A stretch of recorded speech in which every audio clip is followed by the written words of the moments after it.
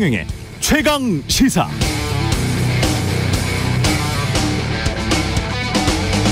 네, 북한은 한국의 적, 아랍에미레이트의 적은 이란이고 우리 사회에서 소탕해야 할 대상에는 마약 사범뿐만 아니라 불법 강성 노동조합, 회계가 불투명한 시민 단체도 끼어 있는 것 같습니다.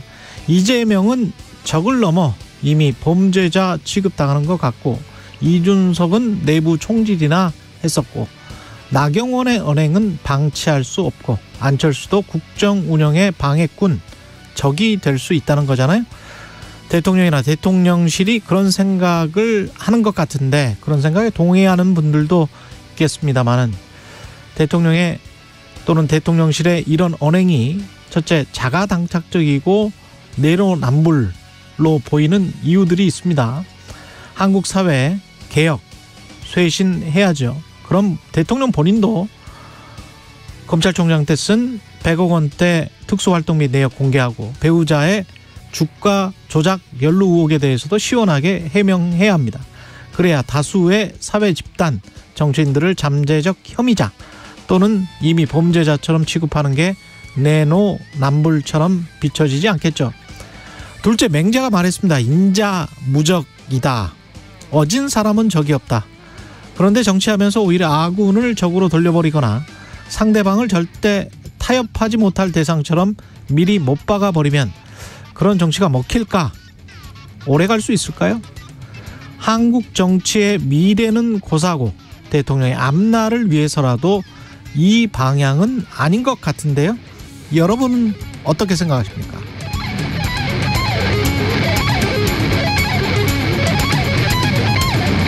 네, 안녕하십니까. 2월 7일 화요일 세상에 이익이 되는 방송 최경령의 최강시사 출발합니다. 저는 KBS 최경령 기자고요.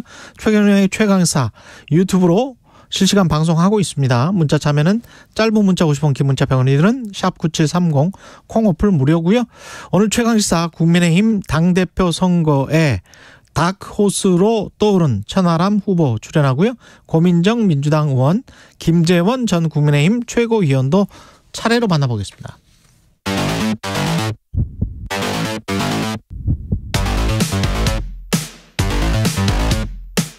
오늘 아침 가장 뜨거운 뉴스 뉴스 unboxing 자 뉴스 unboxing 시작합니다. KBS 김기화 기자 오늘은 나와 있고요. 안녕하십니까? 안녕하세요. 예, 김민아 평론가 나와있습니다. 안녕하십니까? 안녕하세요. 예, 그 튀르키예 강진이 지금 뭐 사망자 숫자가 뭐 기하급수적으로 계속 늘고 있는데요. 아, 너무 굉장히 많아요. 안타깝습니다. 그렇습니다. 예, 지금 KBS에서 어, 추산한 걸로는 사망자 3,600명 네. 이렇게 나와 있습니다. 부상자는 16,000여 명이라고 예. 합니다. 이게 지금 수색이 진행됨에 따라서 이건 늘어날 수밖에 없는 숫자고요. 그렇죠. 예. 근데 지금 이제 개요를 좀 말씀드리자면은 아시다시피 지난 6일 현지 시각으로 6일이죠. 새벽 4시 정도에 이제 지진이 났어요. 튀르키예 남부 도시인 가지안테프에서 규모 7.8의 강진이 났는데 반나절 만인 오후 1시에 또 났단 말이에요. 음. 7.5의 규모의 지진이 어, 북북동에서 또 발생했습니다. 그래서 근데 그뿐이 아니라 여진이 또 한 80차례 가까이 있었다고 해요. 예, 이 여진이 무서운 게 뭐냐면 한 번 이제 지진이 난 다음에 이 건물이 무너지거나 하면 잔해 밑에 사람들이 깔려 있을 거 아니겠습니까? 그렇죠. 예. 구조를 해야 되는데 구조 작업을 할 수가 없는 거예요. 음, 왜냐하면 이게 건물이 굉장히 약화되어 있는 상황에서 여진이 또 일어나니까 그 건물이 또 추가 붕괴가 될 수 있다는 거죠. 그래가지고 여진이 또 그냥 여진이 아니라 규모가 6, 7 막 이랬다는 겁니다. 이게 또 새벽에 나가지고 잠자고 그렇습니다. 있다가 당했던 사람들이 굉장히 많을 것 같습니다. 굉장히 많습니다. 예. 그리고 건물 안에 굉장히 사람이 많이 있을 시간이기 때문에 그래가지고 붕괴 위험 때문에 위험하기도 한데 실제로 여진으로 건물이 붕괴돼가지고 음, 구조대랑 인파를 덮친 사례도 실제로 있었습니다. 근데 게다가 지금 겨울이지 않습니까? 이제 춥고 강풍에 눈, 비까지 내려가지고 또 굉장히 위험한 상황, 그 구조 작업도 쉽지 않다고 합니다. 음, 그러니까 이게 언론 보도를 보면은 예, 이 튀르키예하고 이제 시리아 인근 요 지역이 이제 단층대가 있는 것이고 그래서 이제 지진이 옛날부터 잦았다고 하거든요. 그래서 과거에 이제 보면은 1939년에는 한 사망자 사망자만 3만 명이 발생한 그런 지진도 있었다고 하고 1939년에. 그렇습니다. 거기에 필적할 만한 어 이번에 그런 피해가 있을 수 있다라는 얘기까지 나오고 있어서 이게 외신의 BBC는 뭐라고 이야기를 하고 있냐면 한 2천 명 정도 수준일 때 WHO의 응급 구조 관련된 책임자가 그런 이야기를 해 놨더라고요. 이런 상황은 최종 사망자는 한 8배 정도 봐야 된다. 2천 명 지금 사망 나왔을 때 8배라고 했기 때문에 단순 계산해 보면 16,000명이잖아요. 그 월스트리트 저널 같은 경우는 지금 5천 명이다. 월스트리트 저널은 뭐 카운트를 좀 빨리 하는 것 같은데 그렇게 그렇습니다. 지금 이- 이야기를 하고 있습니다. 사망자만. 그래서 피해가 너무나 클 수밖에 없는 그런 상황으로 보이고 음. 그렇다고 하면 이게 복구하는데 여러 가지 노력들이 필요하고 국제사회의 역할이나 이런 것도 필요할 것 같아요. 우리도 그런 역할에는 또 같이 해야 되지 않을까 그런 생각이 좀 듭니다. 예. 그 전문가들 얘기로는 또 근처에도 댐이 또 많다고 해요. 아, 댐이 예, 물이 예. 이제 저수하고 있는 댐이 많은데 이게 예. 지금 댐이 균열이 갔을 가능성이 높다. 예. 근데 만약에 이게 추가 혹시라도 그러네. 붕괴가 된다면은 홍수로까지 이어지면 이건 정말 그러네. 정말 큰 재앙으로 갈 수 있다고 해서 그렇죠. 굉장히 지금 어, 전전긍긍하고 있는데 지금 음. 뭐 거기까지 신경 쓸 여력이 없는 그렇죠. 상황이라고 해요. 그래서 국가 비상 상태라고 합니다 지금. 구조하는 사람들도 구조 대원들도 굉장히 좀 위험한 상황에서 작업을 하고 있기 때문에 예. 피해가 계속 늘어날 것 같은데 안타깝습니다. 이 자세한 피해나 복구 상황 2부에 한 번 더 뉴스에서 자세히 짚어보도록 하고요.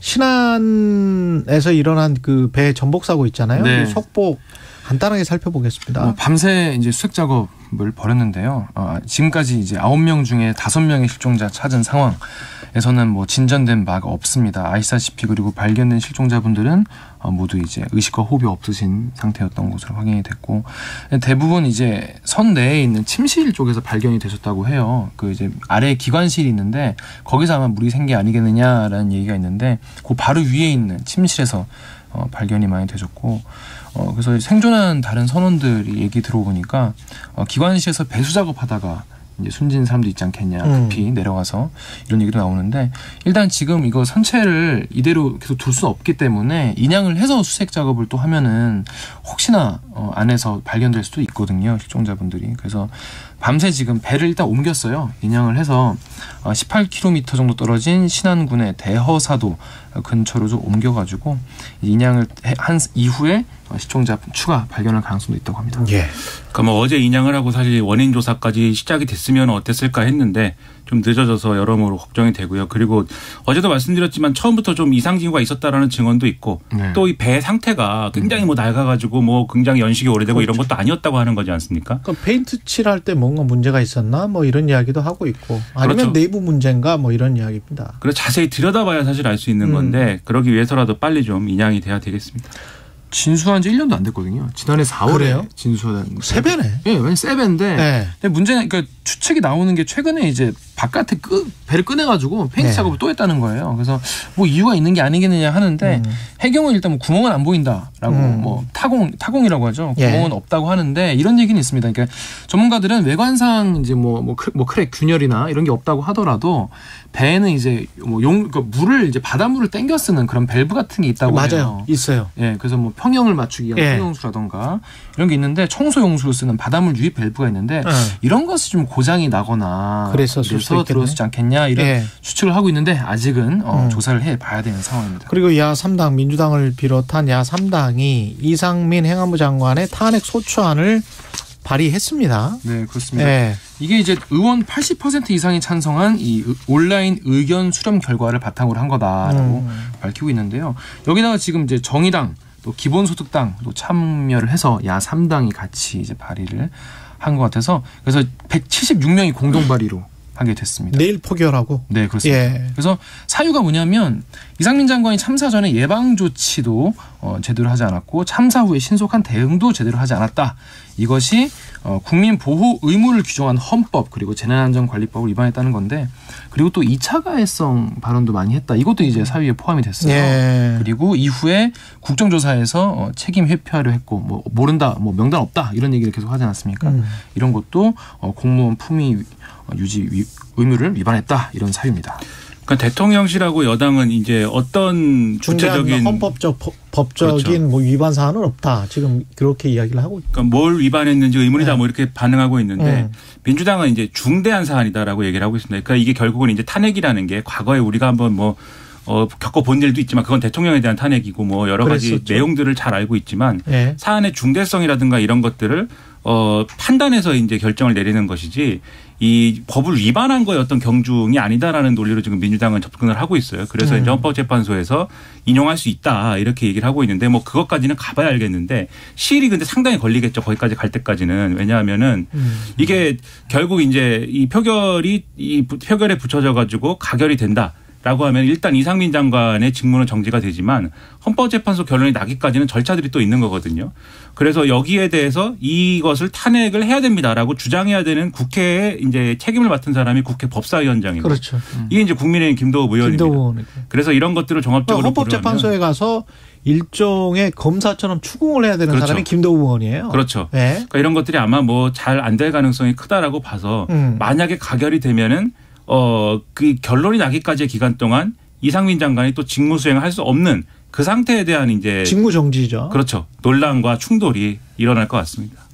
근데 그 가장 바람직한 방향은 사실은 적절한 시기에 대통령이 또는 본인이 사퇴를 하는 게 제가 보기에는 가장 바람직한 것 같습니다. 그렇죠. 네. 이게 이제 발의를 해도 표결 안 하면은 24시간 이후 72시간 이내에 표결 안 하면은 여야가 잘 합의해가지고 표결 안 하기로 하는 방법도 있는 거거든요. 그렇죠. 근데 그게 별로 이렇게 어 지금 가능성이 없어 보이는 게 어제 이제 일부 언론의 단독 보도이긴 합니다만 음. 국민일보의 단독 보도이긴 한데 지금 이상민 장관이 그러면은 이 직무가 정지되면 차관이 대행해야 되지 않습니까? 직무를. 그렇죠. 그런데 어 대통령이 윤석열 대통령은 이, 직, 이 직무를 대행해야 되는 차관은 실세형 차관으로 교체할 생각이다. 라고 얘기를 하고 있다. 이런 음. 보도가 있었습니다. 그러니까 실세형이라는 거는 굉장히 이제 무게감 있는 인사를 차관에 앉혀서 음. 사실상의 장관 업무를 이상민 장관 없어도 예. 여전히 대통령이 그립을 지고 가는 그러한 행안부다라는 걸 보여주고 싶다라는 거고 심지어 이제 그 기사에 보면 이제 검사 출신도 검사 출신일 수도 있다. 뭐 이렇게 나왔거든요 기사에. 예. 어제 기자들이 대통령실에다가 이게 사실이냐 물어봤는데 일단 인사에 대해서는 뭐 지금 뭐 얘기할 게 없다라고는 얘기했습니다만 이런 기류라고 하면은 강대강 대치 이런 것들을 전제하고 움직이는 거 아니겠습니까? 근데 그럴 필요가 없는데. 그렇죠. 굳이 또 그렇게 해야 되는가 하는 의문인데. 그러니까 말이에요. 그러니까 적절한 시기에 사퇴를 하거나 사표를 받 받는 게 가장 현명한 그리고 꼭 이상민 행안부 장관을 해야 그 행안부가 어떻게 돌아간다. 경찰국도 이미 신설했잖아요. 그러면 그렇죠. 할수 있는 거는 했기 때문에 어느 정도 임무는 끝나고 그러면 그렇게 하는 게 순리가 아닌가 정치를 좀 순리대로 했으면 좋겠는데 이렇게 또 탄핵해서 뭐 법적으로 기다 아니다 이렇게 이야기하는 것보다는 도덕적으로 사회적으로 어떤 인간적으로 인간적으로 정리할 수 있는 거는 정리하는 게 맞지 않나 그게 정치가 아닌가 그런 생각이 들고요. 어제 국회에서 대정부 질문도 있었는데 김건희 특검 어떻게 할 거냐 관련해서 뭐 정청래 의원도 많은 주장을 한 것 같고 한동훈 장관도 맞불을 놓은 것 같습니다. 네. 예. 일단 정의용 국민의힘 의원의 이렇게 어, 특검 관련된 질문을 했어요. 예. 이제 김건희 여사 특검을 민주당이 추진하려고 하는데 어떻게 음. 생각하냐 이렇게 얘기를 했는데 한 장관이 뭐라고 했냐면 이건 이재명 대표 사건과 김건희 여사 사건은 전혀 무관한 사건이 아니겠느냐라고 음. 하면서 이게 특검이 정치적 맞불놓기 그러니까 김건희 여사 특검 그러니까 기- 이재명 대표에 대한 이제 수사에 대해서 이 김건희 특검으로 맞불놓기 용도로 사용되는 거는 안 된다 이렇게 음. 얘기를 했어요. 정치적 의도가 있- 있다는 그런 해석인 것 같은데 그래서 한 장관이 뭐라 했냐면 에, 김건희 여사의 이름이 이 주가 조작 세력 이제 범죄 일람표에 있다 이게 이제 그 이유지 않습니까? 이것만으로 문제가 있다는 것은 어불성설이다라는 이- 아니냐 이런 질문에 대해서는 보통 그렇게 주장하지 않죠 이런 식으로 얘기를 음. 해서 뭔가 약간 힘, 빠- 힘 빼는 그런 느낌의 대답을 했어요. 예. 근데 지금 뭐 특검을 주장하는 쪽에서는 범죄 일람표에 이름이 있다 이것만 가지고 얘기하는 것은 아닌 것이죠. 이름이 있는데 예. 여러 가지 뭐 추가적인 어떤 이, 이 여러 가지 얘기들이 또 나왔고 재판 과정에서 3,300원에 8만 주 매도라는 문자가 작전 세력 간에 왔다 갔다 하고 뭐 한 7초쯤 있다가 김건희 여사가 실제로 매도 주문을 3,300원에 냈다. 전화로. 예, 전화로. 뭐 이런 것들, 이런 것들은 우연의 일치라고 보기는 어렵죠. 힘들고 통정 매매가 아닌가라는 합리적 의심을 할 수밖에 없습니다. 그렇죠. 예. 그 과정에서 그리고 이제 이 지난 대선에서 논란이 됐을 때 윤석열 대통령이 후보 시절에 해명한 내용과도 배치되는 거 아니냐 이런 지적도 있고 그렇죠. 그런 것들을 얘기하는 잘못하면 건데 허위사실 유포가 되는데 그렇죠. 선거 때 물론 이제 5년 동안은 무슨 탄핵 소추나 이런 거를 받지는 않지만 그렇죠. 기소가 되지 않겠지만 근데 거의 2차 때도 지금 매도 매수를 한 걸로 봐서는 대통령의 당시 해명 후보 때 해명은 사실과 다른 것 같습니다. 그래서 그런 내용을 가지고 어. 얘기를 하는 건데 한동훈 장관은 이 국회에서 아직 뭐 특검법을 뭐 처리한 것도 아니고 좀 논의를 하는 단계에서 뭐 이렇게까지 얘기를 할 일인가 좀 의문이에요. 그리고 그렇죠. 오히려 이제 어이 국회에서 처리를 하고 싶어하는 어떠한 특검에 대해서 부적절한 어떤 예단을 또 심어주는 그런 언행이 아닌가. 그래서 음. 국무위원회 답변으로 적절한가는 계속 이제 좀 의문이 생기는데 근데 저는 어제 그 어, 야당 의원들 그리고 한동훈 장관 간의 입시름을 보면서 음. 그 사실 민주당도 이 적절한 어떤 전략이나 이런 걸 제대로 세우고 있느냐에 대한 의문은 좀 있었습니다. 워낙 언론이 재밌는 장면만 캐치해서 그런 건지 잘 모르겠는데 그럴 수도 있고. 좀 뭐 아주까리 기름 같은 거 얘기하고 그다음에 한동훈 장관하고 김건희 아주까리 기름은 왜 그렇게 나오는 깐족거리 왜 깐족거리냐? 깐족거린다. 무슨 뜻인지를 잘 모르겠어요. 네, 네. 어떤 맥락인지를. 근데 그런 얘기하고 또 한동훈 장관하고 과거에 김건희 여사 뭐 카톡 메시지를 주고받았다 이런 얘기하고 이게 이 의혹에 이제 본체와는 관련이 없는 거지 않습니까? 그래서 그렇죠. 그런 걸 왜 물어 볼까라는 의문도 들고 했는데 그 한동훈 장관한테 수사 내용을 물어보면은 대답을 안 할 것이기 다- 때문에 당연히 법무부 장관은 수사 내용에 관해서 그렇죠. 이야기를 안 하겠죠. 그렇죠. 그래서 이제 그런 걸 예. 막 물어본 것 같은데 그게 국민들 보기에는 좀 황당해 보일 수 있거든요. 음. 그래서 적절한 어떤 질의응답 답변을 잘 세워야 될 텐데 뭐 그러진 않았던 것 같습니다. 이건 뭐 검사들이 열심히 수사를 하고 소환을 하고 조사를 하는 수밖에 없지 않을까요? 본인들의 어떤 결백함 그리고 정정당당함, 공정성을 입증을 하려면 그리고 대통령은 대통령실이 밝힐 수 있는 것 해명 할 해야 되는 것들은 적절하게 해명을 해야 되는 것이고 예. 국민의힘 전당대회 관련해서는 뭐 이렇게까지 가야 되나? 이것도 싶은데 윤석열 대통령의 전당대회 개입 논란은 계속되고 있는 것 같습니다. 논란은 네, 그렇습니다. 이게 예. 어제 이제 그제 이제 안철수 의원에 대해서 이진복 정무수석이 국회에서 비판을 세게 하지 않았습니까? 그래서 어제 하루 종일 전기가 난리였어요. 게다가 이제 이 반대 문제가 뭐냐면 이 방문 자체가 대통령의 지시에 따른 것이었다 이렇게 아주 직접적으로 밝혔습니다. 예, 소위 말해 완전히 이게 윤심이라는 건데 그래서 안 후보 측이 대통령을 윤석열 대통령을 선거에 끌어들이려고 하는 것에 이런 형태를 경고해 달라라고 당에 요청하라라고 했다는 건데 그래서 어제 아침에 이 안철수 후보가 아, 그 MBC 인터뷰만 하고 이후 일정을 다 취소했어요. 취소했죠. 그 이후 일정에 우리 KBS 예, 사사건 사사건 건도 유탄을 받았죠. 아, 제작진들이 예. 굉장히 당황해가지고 저한테 어떡하냐고 갑자기 연락 왔다고 예. 이럴 정도로 굉장히 하루 동안 어, 숙고에 들어갔는데 일- 일단 인터뷰에서 뭐라고 했냐면요. 윤핵관이라는 단어가 나쁜 표현이라고 생각하면 한다면 안 쓰겠다. 음. 안윤연대란 말도 안 쓰겠다. 안윤이라고 한 적 없고 윤한연대라고 했다. 그러니까 윤석열이 앞이라는 거죠. 예, 윤석열이 앞이다. 예, 나는 항상 뒤로. 뒤다 이렇게 예. 또 밝혔고 겸손한. 예, 겸손한 그 포지션을 잡았고 그리고 이 자신을 향해 좀날서 있는 거 아니냐 이런 예. 얘기가 있으니까 그거에 대해서 아 내가 더 열심히 노력하겠다 이렇게 얘기하고 자신에게 실망했다는 보도에 대해선 실망하셨다면 제 의사를 충분히 잘 어, 전달하지 못한 것 같다 예. 소통 열심히 하겠다 이렇게 굉장히 저자세로 저 자세로 로키라고 하죠. 굉장히 로키로 어제 예. 얘기를 했어요. 그러면서도 어 이런 반응이 사실 경선 개입 아니냐 음. 법적 문제 있을 수 있다 이런 식으로 또 또 비판을 또 하기도 했습니다. 그 누가 그런 얘기를 하더라고요. 이게 전당대회가 아니고 오징어 게임이다. 아, 한 명만 남는 거야? 네, 한 명만 남을 때까지 계속 날아가는 뭐 거야? 계속 뭐 이러는 거냐 이런 얘기까지 나올 정도인데. 예.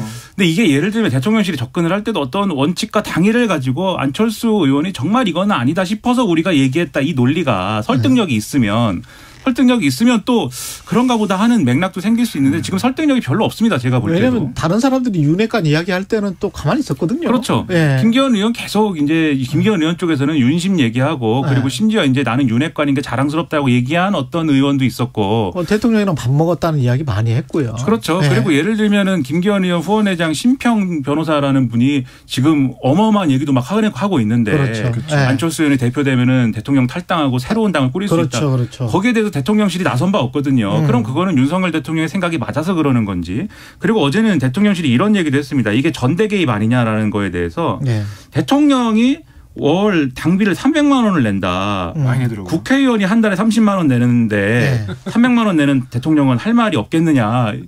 그러면은 누가 어떤 당원이 3천만 원 내면은 그러면 그건 또 할 말이 여러 가지가 생기는 건지. 아니 또 그 돈의 액수가 아니고 이렇게 따질 수도 있어요. 그럼 20년 전부터 국민의힘 당원이었던 사람이 음. 가장 할 말이 많은 건 아닌가. 그렇죠. 근데 윤석열 대통령 같은 경우는 얼마 안 됐잖아요. 국민의힘 당원된 그렇죠. 지가. 나경원 전 의원이 네, 상당히 그렇죠. 할 말. 할 말이 많겠지. 나경원 전 의원 같은 경우에. 근데 이런 상황에서 예를 들면 김기현 의원 같은 경우도 음. 나경원 전 의원을 찾아가고 예. 또 강릉 가족여행 간 데도 찾아가고 이러고 있지 않습니까? 아이 그거는 뭐- 그거는 좀 근데 잔인하지 않아요? 더 황당한 것은 네. 그 나경원 전 의원 뭐 막 비판하는 연판장 돌린 초선 의원들 있잖아요. 예. 그 중에 일부가 또 나경원 전 의원 사무실에. 찾아가서 네. 이 그동 뭐 이 너무 가슴이 아프고 뭐 이렇게 가만히 있는 것은 뭐 옳지 않고 함께 하자 뭐 이런 얘기를 또 하는 거예요. 때릴 땐 언제고.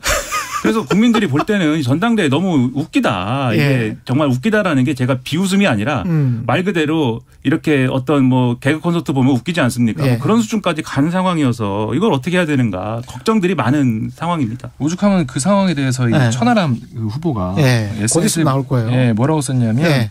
김 후보는 그 김기현 후보죠. 네. 김 후보는 학폭 학폭 가해자의 행태를 멈춰 주십시오. 학폭 가해자. 예, 나경원 전 대표를 학폭 피해자로 가해할 땐 언제고 예. 이제 와서 학급 분위기를 위해서 힘을 합치자 이렇게 얘기하면 이게 학폭 근데 가해자가 뭐가 다른가? 힘을 합칠 수도 있을 것 같아요. 지금 더, 분위기는. 더 예. 글로리 송혜교 뭐. 힘을 합칠 것 같습니다. 제 생각에는. 예, 김재인님 대길기 김기화 기자님이다 이런 말씀하셨네요. 오늘 special guest KBS 김기화 기자 환영해 주신 분들 많은데 아쉽게 오늘만 출연합니다. 다음에 또 만나 뵙기로 하고요. 네. 뉴스 unboxing 김기화 기자 김민아 평론가였습니다. 고맙습니다. 고맙습니다. KBS 라디오 최경영의 최강시사 듣고 계신 지금 시각 7시 41분입니다. 오늘은 고농도 미세먼지 비상 저감 조치가 영동을 제외한 중부지방으로 확대 시행되는데요. 어제 아침보다 공기가 탁해서 인천, 경기, 충청권, 전북 등 서쪽에 초미세먼지 주의보가 내려졌고요. 특히 경기 남부와 충남, 전북 서해안은 대부분 먼지 농도가 매우 나쁨 단계를 띠고 있습니다. 내일은 주로 충청 이남 지역에 먼지가 정체했다가 이후로는 공기질을 회복할 것으로 보입니다. 오늘 제주도는 아침까지 비가 살짝 내리겠습니다. 동쪽엔 건조특보가 이어지는 가운데 늦은 오후부터 강원 영동에 내일 새벽엔 경북 북부 동해안에 비나 눈 소식이 있는데요. 양이 5mm 미만으로 매우 적겠습니다. 오늘 한낮 기온은 서울과 강릉 9도, 대전 11도, 광주, 부산 14도 안팎으로 어제보다 1도에서 3도 정도 높겠습니다. 금요일엔 전국에 비나 눈 예보 나와 있습니다. 지금 서울의 기온 영하 0.6도입니다. 날씨 정보 박다효입니다. 이어서 이 시각 교통정보입니다. KBS 교통정보센터의 이현 씨입니다. 네, 교통량이 계속 증가하고 있는데요. 서울시내 분당수서로 수소 나들목 지나기는 양방향으로 많이 어려우실 겁니다. 사고가 있어서인데요. 성남 쪽부터 볼게요. 수소 나들목을 지나서 사고가 있었는데요. 막 정리는 됐습니다. 하지만 청담대교에서 수소 나들목까지 가는데 25분 정도 걸리겠습니다. 청담대교 쪽으로는 복정부도 속도가 많이 떨어지고 있고요.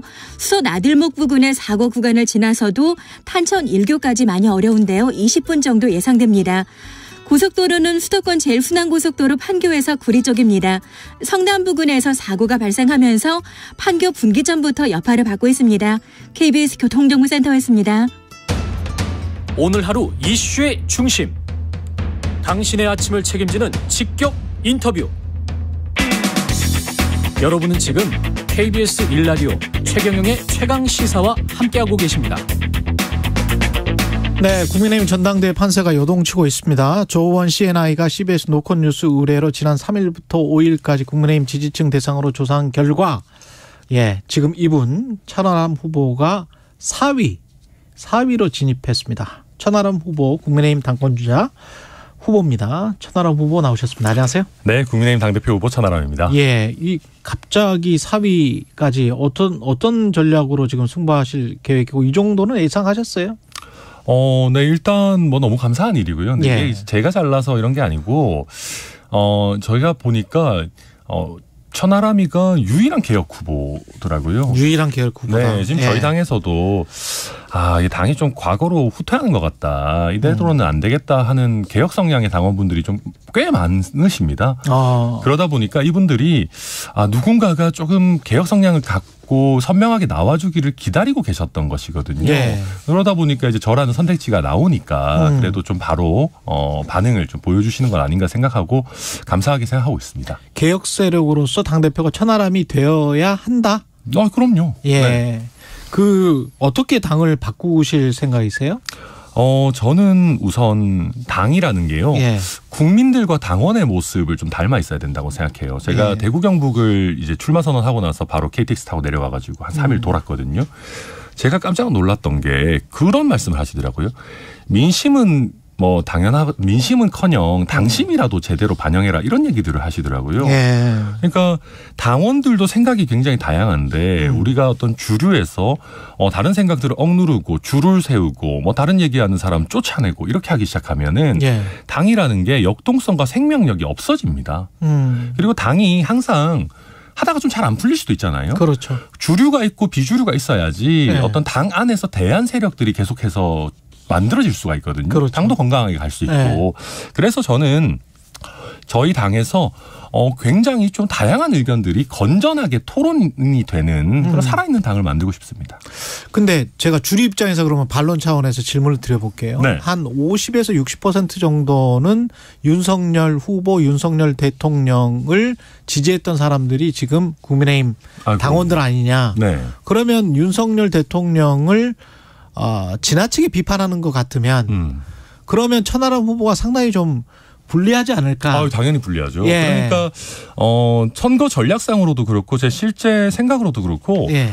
저는 윤석열 대통령을 지나치게 비판할 생각은 전혀 지나치게 없습니다. 비판할 생각은 없다. 어, 저는 네. 윤석열 대통령도 당연히 어, 저희 당의 이제 뭐 저희 당 소속의 대통령이시고 음. 저희 당 운영에 대해서 의견을 제시하실 수 있죠. 예. 그런데 윤석열 대통령의 의견이 당의 100%가 돼서는 안 되는 겁니다. 아. 말씀하셨듯이 예. 윤석열 대통령이 하는 것은 무조건 지지하겠다. 뭐 이런 당원들도 많으세요. 음. 근데 그분들이 100%는 아니거든요. 예. 그러다 보면 비주류가 숨 쉴 수 있는 공간들도 좀 열어줘야 되는 것이고 예. 또 그런 식으로 당이 건강하게 가는 것이 국- 대통령의 국정 운영을 위해서 좋아요. 음. 아니, 그렇지 않아요? 그래야 예. 이제 저희 당이 뭐 비단 총선에서 좋은 결과를 얻고 뭐 그것도 중요하겠지만 아 저희 당 내에서 다양한 토론과 이런 것들이 이루어져야 어, 국민의 신뢰도 계속해서 얻을 수 있고 음. 또 길게는 정권 재창출도 할 수 있지 않겠습니까? 그 그런 의미에서 이제 대통령을 비판하는 목소리보다는 대통령 주변에 있는 음. 어제 뭐 천하람 변호사 같은 경우는 그 시위를 하면서 네. 간신배 간신배 윤핵관 퇴진 도 퇴진 도우미 네. 이게 지금 문구였죠. 맞아요. 근데 이제 간신배 윤핵관이 누구인지는 모르겠습니다만은 속으로 좀 아, 기분 나쁘게 생각하시는 음. 분들도 있지 않을까요? 맞아요. 네. 한 분은 또 뭐 지나가시다가 네. 제가 이름 밝히지 예. 않겠습니다만은 어떤 의원님이 어, 예. 어유, 뭐, 어, 천 후보 나를 쫓아내겠다는 거야? 그래서 제가 막 허허허 웃- 웃고 그러면서 네. 서로 아, 아니 뭐 나는 호소인이라서 괜찮은 건가? 뭐 이러시면서 아. 이제 또 지나가시더라고요. 예. 그래서 제가 그 말씀드리고 싶은 건 그런 겁니다. 간신배, 뭐 윤핵관, 윤핵관이라는 표현은 뭐 잘 모르겠습니다만 네. 사실 센 단어인 거는 맞죠. 그쵸. 저도 저희 당의 네. 선배 또 제가 다 알고 지내는 분들을 음. 이렇게 센 단어로 비판하는 게 그렇게 편하지는 않습니다. 음. 다만 제가 이 단어들을 쓰는 것은 저희 당은 이런 슬픈 역사들이 있는 것이거든요. 음. 박근혜 전 대통령 한번 보십시오. 점점 점점 폭이 줄어버렸어요. 처음에 출발할 때는 큰 기대를 받고 출발했습니다. 그런데 그러다가 네. 친박의 대통령이 됐다가 음. 친박 중에서도 마음이 완전히 일치하지 않는 사람들은 또 배제하고 진박의 대통령이 됐다가 음. 점점 점점 그것도 줄어가지고 문고리의 대통령까지 줄어들었거든요. 예. 그러면 대통령의 뜻을 자기들이 무조건 따른답시고 충성 경쟁을 반복해가지고 대통령을 점점 작게 만드는 사람들이 충신입니까?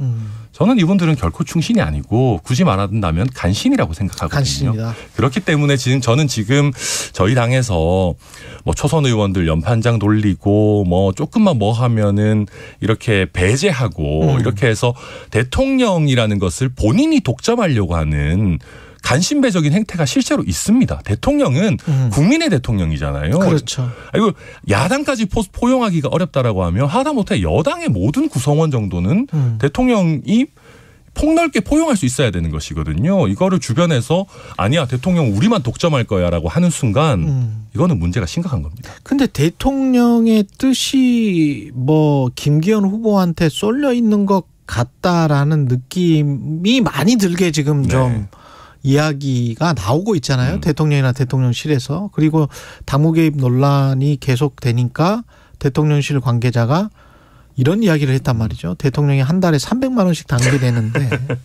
당에 의견 개진하는 거는 당연한 거 아니냐. 아마 저희가 일반 당원들이 한 달에 한 100만 원 내시죠. 아, 그러니까 이- 100만 원이란다. 차- 차- 일 년에. 죄송합니다. 일 년, 아, 일- 1년이 아니죠. 한, 한 달에 천 원을 내시죠. 아, 한 달에 죄송합니다. 천 원. 잠깐, 잠깐 예. 다른 생각 했는데. 예. 한 달에 일반 당원들이 천원 내는데. 국회의원은 한 30만 원 낸다. 국회의원 한 30만 원 내죠. 예. 어, 뭐, 당대표가 한 250만 원 정도 됩니다. 제가 아, 알기로는. 당 대표가. 예. 그럼 대통령 300만 원 내시는 기준이면은 예. 그럼 당원들 그 천 원 내는 거에 비례해서 영향력만 행사하실 겁니까? 몇 표 안 됩니다. 천 원, 300만 원 나누기 천 원 해보십시오. 그거 몇 네. 표안 돼요. 지금 저희가 되네. 80만 당원인데. 예. 저는 그래서 그런 얘기는 좀, 어, 맞지 않는다. 음. 저는 뭐 대통령께서 그 이상의 당에 대한 영향력이 있으시다고 생각합니다. 그렇지만 아. 대통령이 내가 이 후보가 원- 이 후보를 원한다라고 얘기하는 것, 어, 저는 그것도 굉장히 부적절하다고 생각합니다만은 대통령을 위해서도 좋지 않아요. 예. 그렇지만은 대통령이 원치 않는 후보를 대통령실에서 공격하는 것은 더욱 더 부적절한 것이거든요. 지금 저 안철수 의원은 공격하는 거예요? 저는 대통령- 공격받고 있다고 생각합니다. 공격받고 있다. 네. 그러면 현실적으로 봤을 때 음. 안철수 의원이 공격받으면 천하람 변호사, 천하람 후보가 더 뜰 수 있는 가능성이 있는 거 아닙니까? 아주 음. 정치 공학적으로만 정치. 공학적으로만 보면 그럴 수는 있겠죠. 왜냐하면 네. 지금 안철수 후보 포지션이 되게 애매해졌어요. 그러니까 애매해졌어. 예. 어, 뭔가 개혁 성향의 후보는 아닌데 음. 비윤 후보가 돼버렸거든요. 그러니까 본인은 그걸 원한 어, 것도 본인은 아니고. 그 원한 것도 아니고 이제 본인은 예. 친윤이 되고 싶어 했고 사실은 처음에는 장재원 의원이랑도 뭐 이런 것들이 좀 있었던 것 같고 예. 약간 버림받고 나니까 이제 또 뭐 윤핵관 공격하고 이렇게 하시는 네. 조금 어, 제가 보기에는 좀 기회주의적인 면모도 일부 있는 것 같은데 안철수 의원이. 네. 예. 그래서 개혁 성향의 뭐 최선책인 제가 나왔으니까 좀 그런 면에서는 어좀 마이너스가 있지 않겠냐라고 저도 말씀은 드리는데 음. 예.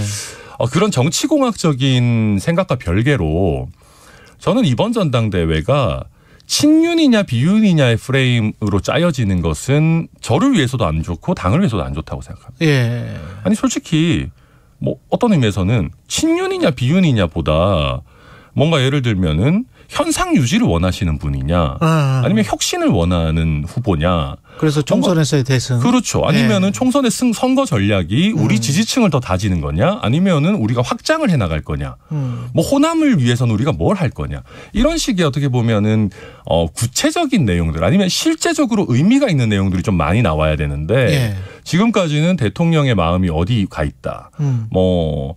누구랑 밥을 먹었다. 뭐 이런 식으로 이제 뭐 의원들이 어디 줄을 섰다 이런 것만 나오고 있다 보니까 그렇죠. 예. 전당대회 질 자체가 좀 많이 떨어져 있다고 저는 생각하고 음. 결국 그 질을 제가 잘 끌어올리느냐 음. 프레임 자체를 어, 어떻게 보면 구태 대 혁신으로 잘 가져올 수 있느냐가 네. 저의 승부처라고 생각하고 있습니다. 그 안철수 후보에 관해서 개혁 성향이 좀 부족한 것 같다 이런 말씀을 해주셨는데 천 후보와 결선 투표에서 연대할 수도 있다. 안철수 후보는 그렇게 이야기를 했단 말이죠. 근데 저는 그러니까 결선 투표가 있는 상황에서 연대라는 게 무슨 의미가 있는지 솔직히 잘 아, 모르겠고요. 그래요? 어 저는 누가 그- 올라가든 간에 서로한테 손을 내밀는 것. 그러니까 어. 천하람 변호사가 올라가면 네. 안철수 의원이 좀 손을 내밀어 준다거나 그러니까 저는 안철수 그- 의원이 올라가면 뭐가 이렇게 요즘은요, 예. 어, 우리 당원들이나 우리 이제 유권자들께서 누구랑 누구랑 연대한다고 해서 표를 다 주시는 게 아닙니다. 아, 저희 지금 요새 이제 김기현 의원, 그 김기현 후보께서 예. 나경원 전 의원 이렇게 어, 막 찾아가 다니면서 손 내밀고 이렇게 하고 있지 예. 않습니까? 나경원 전 의원이 손을 잡아준다고 하더라도 나경원 전 의원 지지했던 분들이 다 갈까요? 음. 저는 그렇게 생각하지 않습니다. 그렇군요. 네, 그래서 네. 저는 안철수 후보께서 그런 얘기 하신다면 어, 차라리 제 지지층의 지지를 이끌어낼 만한 개혁 과제, 혁신 과제들을 제시하시라. 그리고 어. 저랑 개혁 경쟁을 하시라. 저는 예.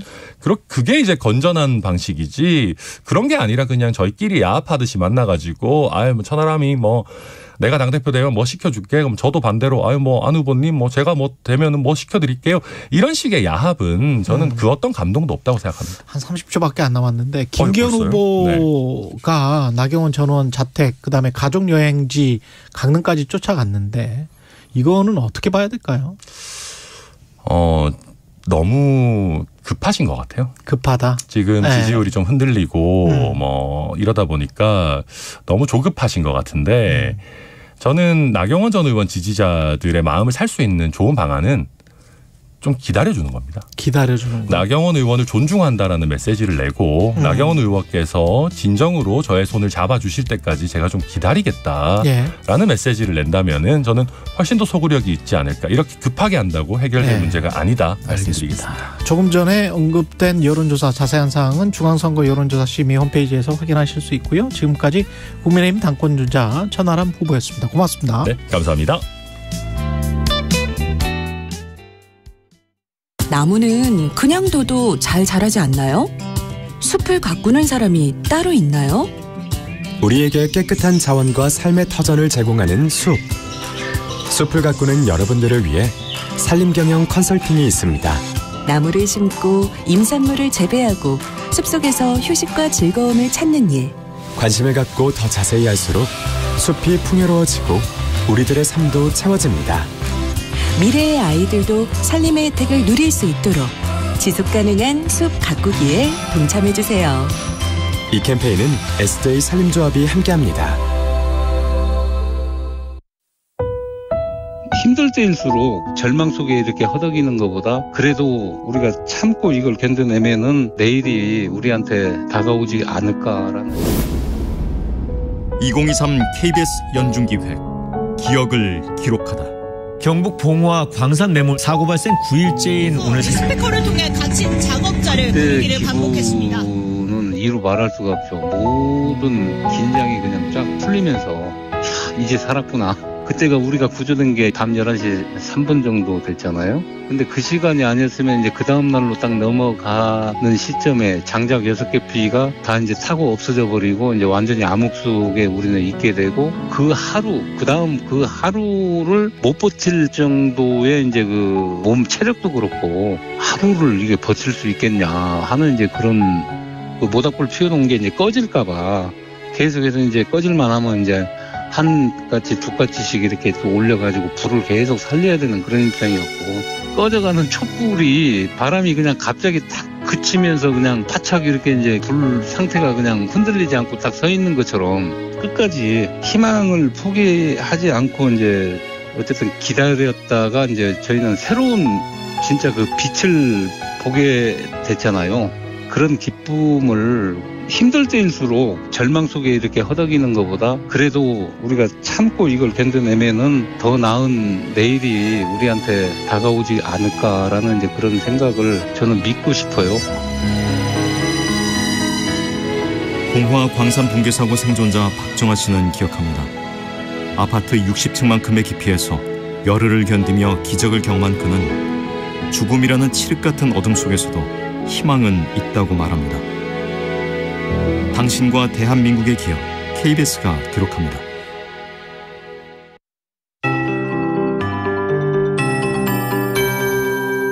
KBS 58분 날씨.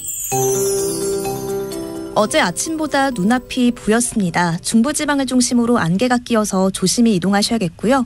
서쪽에 초미세먼지 주의보가 내려진 가운데 경기 남부와 세종, 충남, 전북 서해안은 먼지 농도가 매우 나쁜 단계까지 올랐습니다. 비상 저감 조치는 영동을 제외한 중부지방으로 확대 시행되는데요. 다행히 내일 오후에 중부지방부터 대기 확산이 원활해지겠습니다. 내일은 주로 충청 이남 지역에 먼지가 정체하겠습니다. 오늘 아침까지 제주도에 비가 살짝 지나겠습니다. 늦은 오후부터는 강원 영동에, 내일 새벽엔 경북 북부 동해안에도 비나 눈 소식이 있는데요. 5mm 미만의 비나 강원 산지의 1cm의 눈으로 양이 많진 않겠습니다.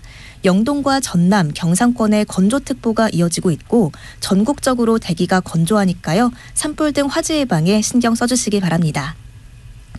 현재 기온은 어제보다 1도에서 3도 정도 높게 출발하고 있습니다. 한낮엔 서울과 강릉 9도, 대전 11도, 광주, 부산 14도 안팎으로 어제와 비슷하거나 약간 높겠습니다.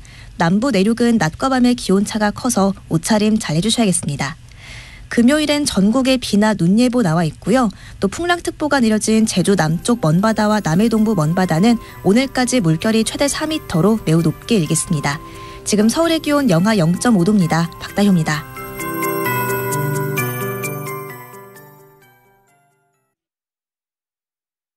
정성을 다하는 국민의 방송 KBS가 8시를 알려드립니다. AM 711kHz, FM 97.3MHz, KBS 1라디오입니다. HLKA.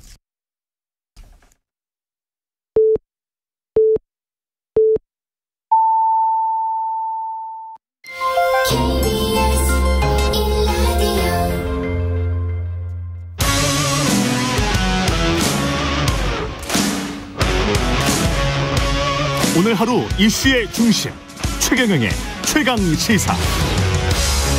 네, 야 3당이 발의한 이상민 행안부 장관 탄핵 소추안이 어제 국회에 보고됐습니다. 내일 본회의에서 표결한다는 계획인데요. 민주당 고민정 최고위원 전화로 연결돼 있습니다. 안녕하세요.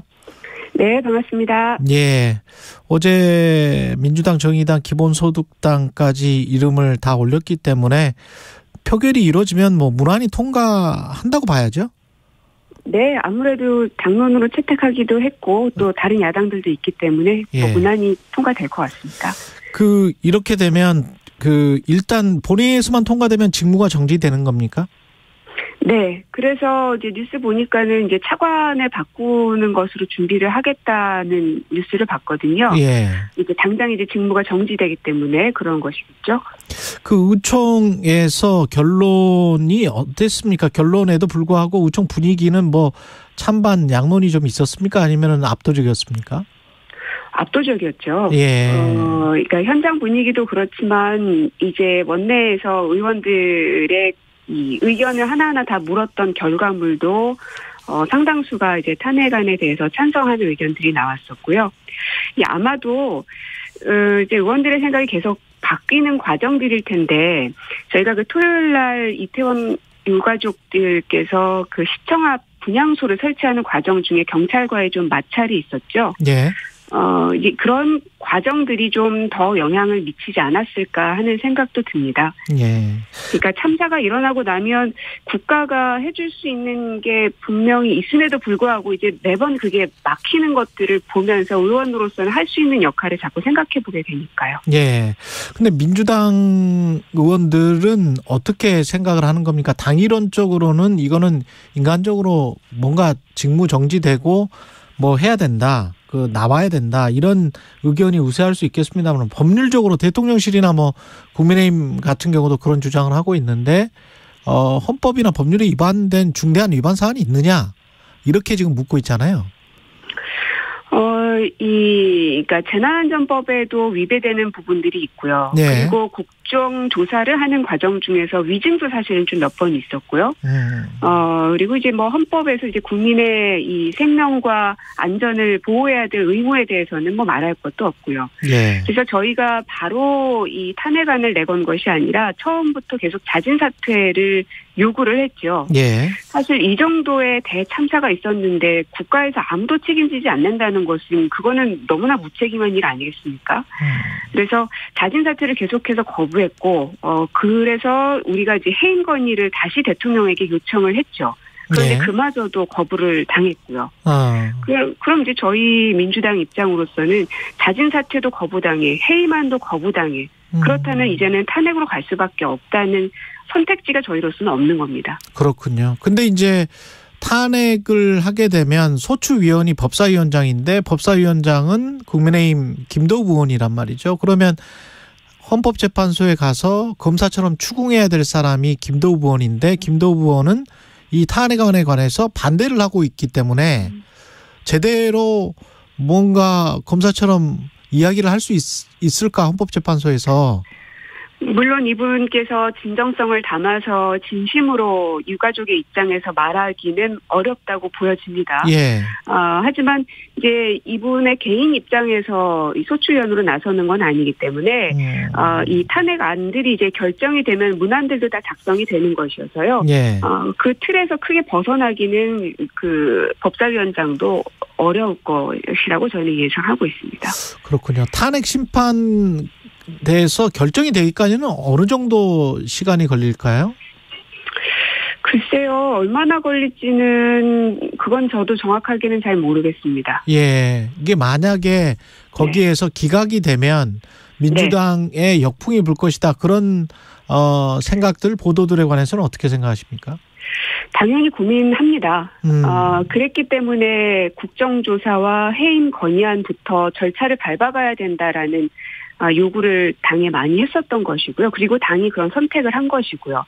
사실은 탄핵안을 바로 가자는 것은 진작부터 있었습니다. 사고가 있고 나서 정부가 아무런 책임을 지지 않자 민주당 안에서도 바로 탄핵안을 해야 된다라는 요구가 굉장히 많았음에도 불구하고 방금 말씀하신 국민들의 이해도 그리고 역풍에 대한 우려 뭐 이런 걸 고려하지 않을 수 없었기 때문에 어, 정부에게 계속해서 기회를 줬던 것이고요. 이제는 더 이상 저희도 갈 곳이 없어서 그리고 유족들 또한 어, 어쨌든 이제 책임지는 사람이 없는 이 답답한 상황에 대해서 괴로워하시기도 하고 예. 이제부터 민주당에게 주어진 거는 어, 만에 하나 닥치게 될 그러한 역풍을 얼만큼 버텨내고 이겨낼 것인지가 저희에게는 이제 숙제로 남아 있는 것 같습니다. 이상민 장관 탄핵 소추안 발의에 대해서 국민의힘은 이재명 반탄 이다 이야기를 다시 하고 있습니다. 민주당의 사당화가 완성됐다. 뭐 늘 똑같은 말만 앵무새처럼 반복들 하셔서 뭐 이제는 별로 새롭지도 않은데요. 예. 뭐 거의 뭐 스토킹 수준이십니다. 그래서 이제 국회 안에서 보면 우리가 해결하고 싸워야 될 쟁점 법안들도 굉장히 많은데 예. 무슨 얘기를 하든 매번 이제 대표 이름만 거론을 하니까 별로 이렇게 뭐, 뭐 크게 다가오진 않네요. 그런 말 해도. 국민의힘은 오히려 민주당이 김건희 여사에 관해 스토킹 수준으로 스토커 수준으로 지금 접근한다고 이야기하잖아요. 네, 그렇더라고요. 예. 근데 이제 김건희 여사에 대해서는 하필이면 주가 조작을 했던 사람이 영부인인 겁니다. 저희 국민들도 영부인에게 이러한 혐의가 들씌워져 있었, 있다는 사실에 대해서 굉장히 분노하고 자괴감이 들고 그렇습니다. 국가의 얼굴이고 특히나 국제 무대에 나가면은 우리나라를 대표해서 어쨌든 인사를 하셔야 되는 분인데 음. 그제 경험에 의해서도 정상회담을 하게 되면 영부인께서도 계속 그 나라 영부인을 이제 만나게 되시는데요. 예. 그러면 사, 다른 나라의 영부인에 대한 자료 조사를 충분히 해서 저희 영부인이 다 보시거든요. 예. 그 얘기는 우리 김건희 여사에 대한 자료 조사들도 상대국 나라의 영부인들이 꼼꼼히 다 조사해서 본다는 얘기입니다. 음. 그러면 한국 안에서 주가 조작, 허위 경력 이런 것들로 지금 혐의가 있다는 부분을 그들도 알 텐데 음. 저는 그런 게 굉장히 얼굴이 좀 나쁘고 그렇고요. 예. 그리고 이 주가 조작 문제는 계속 그 한동훈 장관은 문재인 정부 때 다 했기 때문에 뭐 충분한 조사가 이루어졌다라고 어제 대정부 질문에서도 그랬죠. 예. 네. 예. 하지만 중요한 거는 어, 하- 그 윤석열이란 사람이 검찰총장 이던 때와 이, 검찰총장을 사퇴한 때를 구분해서 봐야 된다는 겁니다. 음. 모두가 다 문재인 정부에 해당은 됩니다만 예. 윤석열 사퇴하기 전에는 수사의 진척이 전혀 없었고 그래서 심지어는 법무부 장관이 수사지휘권까지 발동하는 지경까지 갔잖아요. 어. 아, 그런데 21년 3월에 윤석열이 사퇴한 이후에 7월부터 본격적인 수사가 이제 급물살을 타게 됩니다. 그러면서 도이치모터스 본사도 압수수색하고 금강원도 압수수색하면서 자료들을 이제 획득하게 되는 거거든요. 그러면서 권오수 회장이 구속 기수되기도 하고요. 그런데 참 역사의 아이러니, 아이러니긴 한데 그러고 몇 달 안에 바로 대선으로 들어왔고 윤석열 정부가 들어왔기 때문에 도이치모터스 주가 조작 사건은 고작 한 서너 달 밖에는 수사를 못했던 겁니다. 음. 그래서 지금이라도 수사를 하라고 계속 촉구를 했는데 윤석열 대통령과 한동훈 장관은 문개기로 일관을 했고요. 그- 그러면 이제 선택지는 특검밖에 없는 것이죠. 예. 중앙지검장 검찰총장을 하면서 그 임기 동안에는 제대로 수사를 안 했던 것 아니냐 그런 말씀이신 것 같네요. 예. 네. 그 특검을 하게 되면 이거 이건 어떻게 되나요 절차가 그 국회에서 통과만 되면 근데 이제 여당이 합의를 안 해주면은 이것도 굉장히 힘든 과정을 거쳐야 되는 거 아닙니까? 어, 주가 조작 문제는 저는 여당도 좀 현명하게 생각하셨으면 좋겠는데 예. 이 사안은 5년 내내 계속 꼬리표처럼 따라붙을 사안입니다. 어, 그러한 억울함이 있으시겠죠. 만약에 혐의가 없다면 예. 그 억울함을 털기 위해서라도 어, 이걸 명명백백하게 국민들 앞에 좀 내놓아야 된다고 생각합니다. 음. 이게요, 대통령을 뭐 독재를 하실 게 아닌 거면 어쨌든 5년 안에는 내려오셔야 되거든요. 예. 어, 그때 가서 어떻게 감당하시려고 저러나 하는 생각이 들 정도입니다. 예. 그래서 본인의 무혐의를 입증하기 위해서라도 어떤 방식으로든 수사를 통해서 이 진실을 좀 밝히는데 협조하시기를 좀 간곡하게 부탁을 드리는 겁니다. 어제 최재성 전 청와대 정무수석은 다른 무엇보다도 지금 천공 관련한 게 국정조사 네. 빨리 해야 되고 청문회 추진해야 된다. 뭐 이런 이야기를 했는데 동의하세요? 아, 지금 사실 이제 천공 관련해서는 저희가 막 그 정도로 심도 깊게 논의를 하고 있지는 않습니다. 음.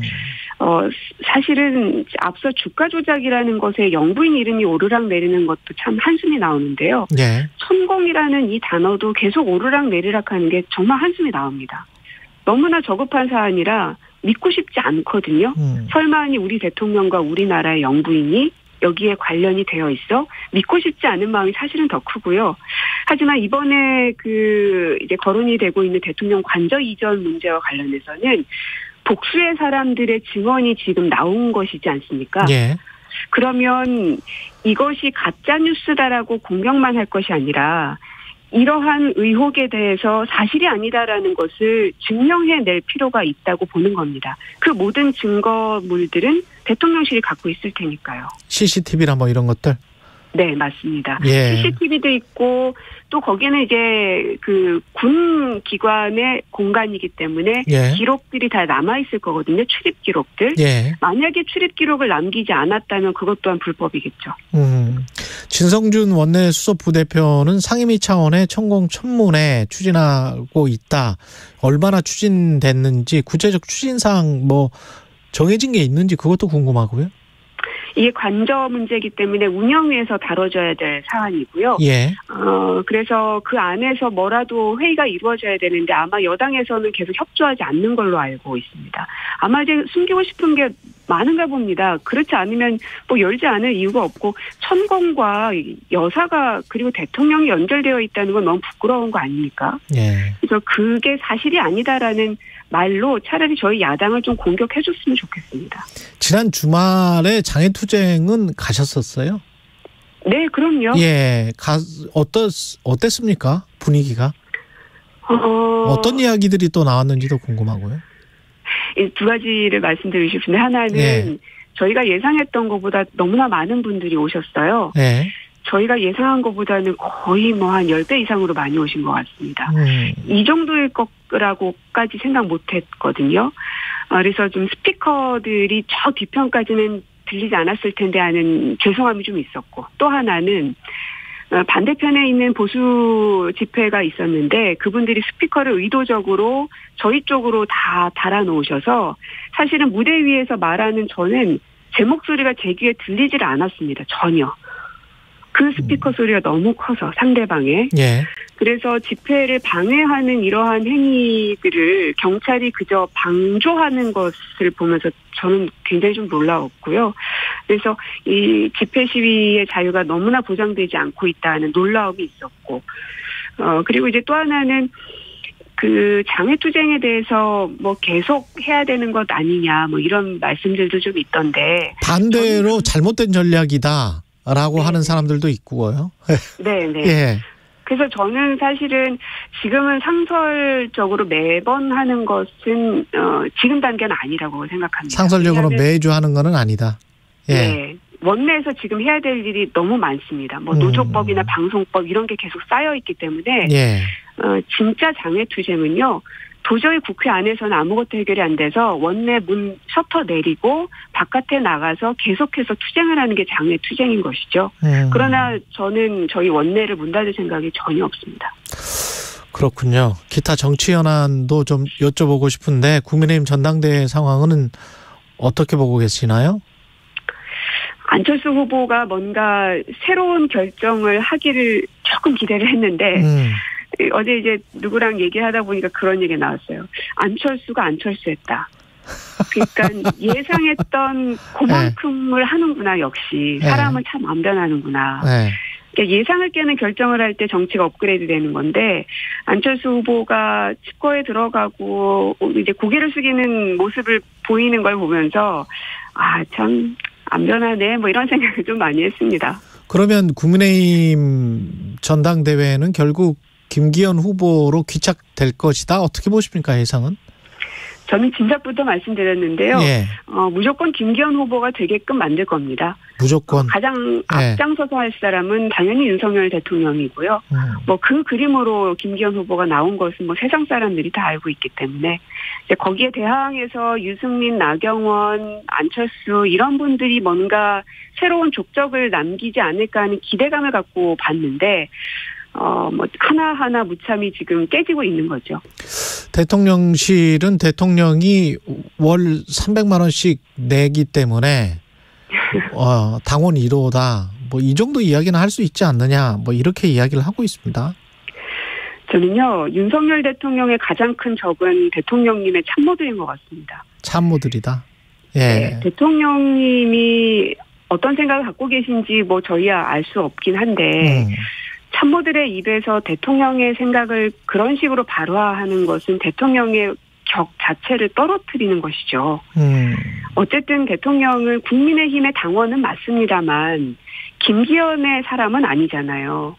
김기현도 안철수도 나경원도 이준석도 다 끌고 가고 끌어안아야 할 그런 분이 대통령이 되어야 되는 거 아닌가요?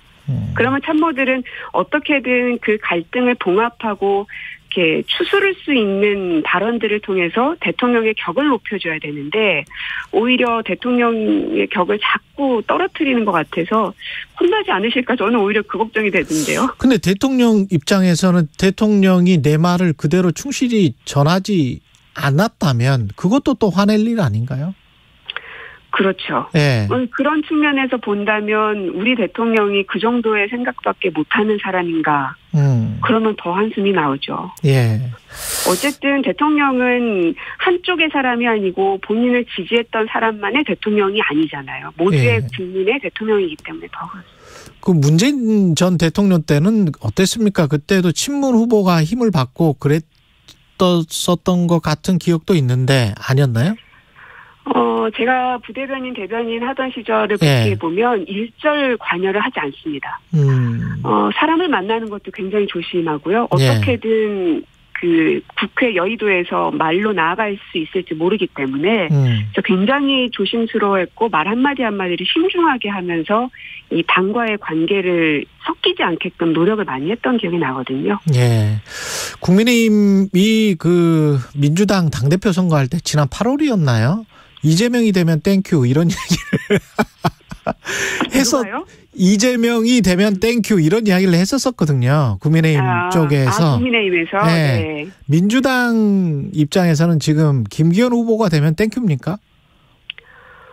어, 김기현 글쎄요 이게 참 어렵네요. 예. 어, 근데 지금 이 정도까지 대통령님께서 의지를 그렇게 보이고 계셔서 음. 결국은 이제 공천 문제로 갈 텐데요.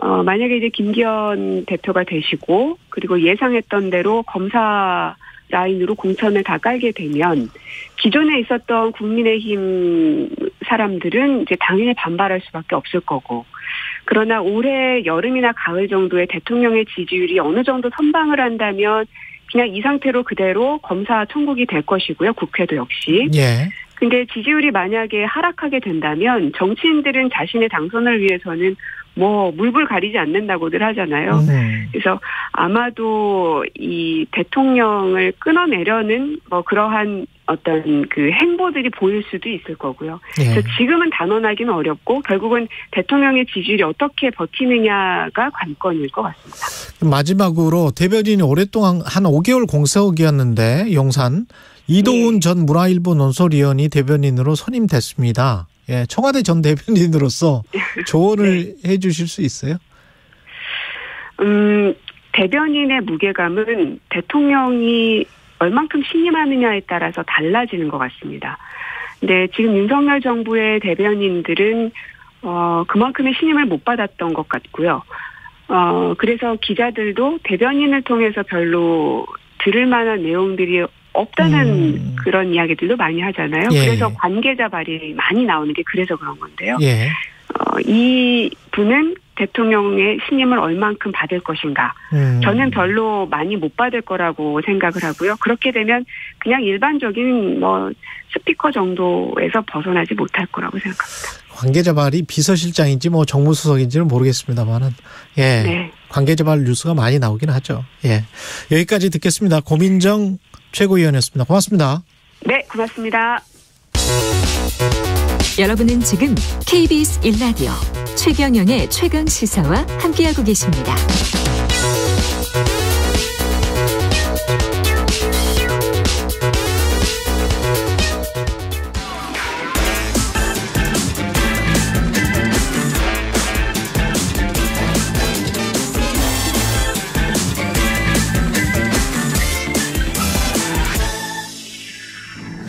네. 최경련의 최강시사 한 번 더 뉴스 시간입니다. 오늘은 정은정 작가와 함께하겠습니다. 안녕하십니까? 네, 안녕하세요. 오늘 즐거운 소식은 아니네요. 튀르키예 대지진 다시 한번 짚어보겠습니다. 아까도 이야기했지만 현재 상황 이야기해 주시죠. 예. 어, 예, 뭐 새로운 소식 업데이트 되는 게 겁이 날 정도로 지금 제가 어제 자정 기준으로 원고를 작성했는데 지금 방금 전에 또 보니까 이 기관 통신사들이 현재 그 사망자 수가 3,700명에 이르고 예. 예, 부상자 수는 그냥 수만 명 이 정도로 나왔는데요. 그렇죠. 예, 점점점 희생이 커질 것 같아서 정말 크게 우려가 되네요.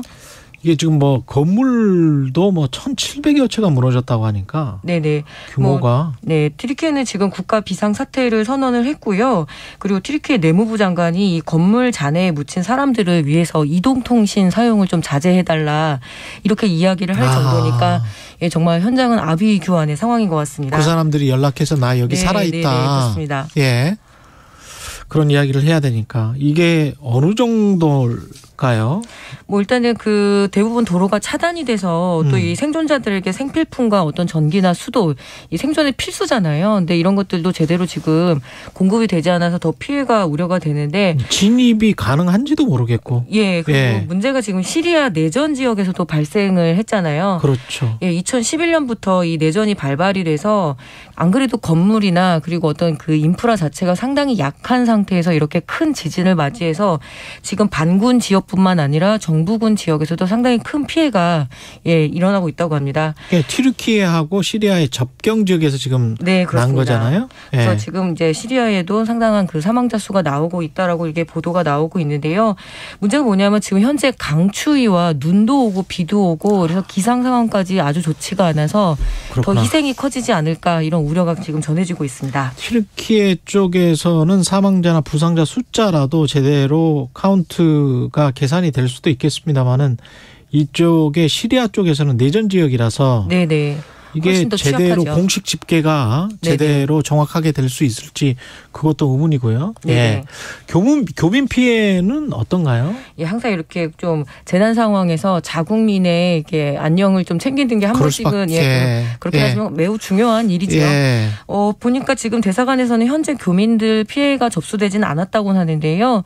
속속 현지에서는 이런 이야기들이 있더라고요. 이 지금 이 가, 가지안테프주에서 발생을 크게 한 건데 인근에 이 하타이주에는 교민의 교회가 아예 무너지기도 했고요. 음. 그리고 터키인은 아니지만 이 한국 교민의 시어머니께서 터키인이시래요. 근데 아. 이미 사망을 하셨다 이런 소식도 좀 들리고 있는데 지금 현재 이런 사망자가 속출하고 있는 상황에서 혹시 교민들의 피해가 있지 않을까 상당히 좀 걱정스럽네요. 어, 튀르키예, 터키 과거에 터키로 불렸던 나라입니다. 튀, 네. 튀르키예는 우리 그 6.25 한국전쟁 때 참전을 했던 나라고 네, 형제 형제국 나라라고도 보통 이야기하고 예. 참이 감정적으로 굉장히 좀 친밀한 국가 그렇죠. 중에 하나이죠. 아니 네네. 그리고 제가 여행을 해보면 사람들이 참 착해요. 네. 한국 사람들한테 되게 잘해주고 예 그래서 저 심정적으로도 그렇고 전 세계적인 지금 재난이기 때문에 네네. 우리가 좀 많이 도와줘야 될 것 같은데. 어, 예, 지금 그죠? 현재 그 그리스하고 티르키예하고 사이가 상당히 안 좋죠. 예. 하지만 지금은 일단 그리스도 지원을 하겠다라고 약속을 했고 심지어 우크라이나 젤렌스키 대통령마저도 어, 필요한 아. 일 있으면 돕겠다라고 이야기를 했고요. 그 정부는 그 나라의 정부는 잘 대응을 하고 있습니까? 아, 예, 지금 뭐 정신이 없는 상황인데 일단 국가 비상 사태를 선언을 하고 음. 또 시리아 같은 경우에도 이스라엘과 상당히 예, 그 적대 관계잖아요. 하지만 그러네. 이제 이스라엘도 지원을 하겠다라고 이렇게 이야기를 하니까 이스라엘까지. 예, 국제적인 어떤 공조 속에서 좀 빠른 사고 수습이 있어야 될 것 같습니다. 근데 문제는 음. 지금 이 지진이 워낙 그 튀르키예가 아랍과 아프리카 대륙판 또 유라시아 대륙판 아주 힘이 센 대륙판 그 사이에 있다라고 해요. 아나톨리아 그 대륙판이 그렇다고 하는데 네. 이 압력들이 정말 세지면서 이 후속 그 더 큰 지진들이 있지 않겠느냐라는 지진학자들의 그 전망들이 나오게 돼서 더욱더 좀 크게 걱정스럽네요. 네. 이게 원래 지진 피해가 빈발하는 지역일 수밖에 없다며요, 이곳이? 네, 그렇습니다. 그래서 예. 그동안에 뭐 숨, 아주 강진, 강진들이 계속 있어 왔는데 이번이 뭐 이렇게 표현하기 좀 숭고스럽습니다만 역대급 최악의 지진이다라고 이야기를 하고 있는데요. 예, 정말 걱정스럽네요. 예. 예, 이태원 참사 불량소 문제로 넘어가기 전에 많은 문자들이 오고 있는데요. 그거는 차차 소개를 해드리도록 하고요. 12구 이태원 참사 불량소 문제, 이거는 갈등이 오히려 지금 증폭되고 있습니다. 예, 지난주 토요일이 이, 이, 예, 참사 100일이었습니다. 네. 어, 그리고 이제 서울 광장에 유족들이 분향소를 설치를 했는데요. 이에 서울시가 철거를 요구하면서 오늘로 나흘째를 이제 대치를 하고 있습니다. 그래서 행정 대집행을 예고를 해서 이 유가족과 시민 대책위는 추모할 권리를 보장하라라고 하면서 지금 24시간 분향소를 이제 그 지키고 있는 상황인데요. 뭐 서울시 조례에 따르면 광장을 사용하기 위해서는 시에 사용 신고서를 내야 하고 내야 한다고 하니까 지금 어떤 절차적인 문제 를 제기를 하고 있는데 예. 예, 좀 많이 안타깝죠. 예. 근데 이제 서울시가 대체 공간으로 제시한 게 녹사평역 지하 4층. 네.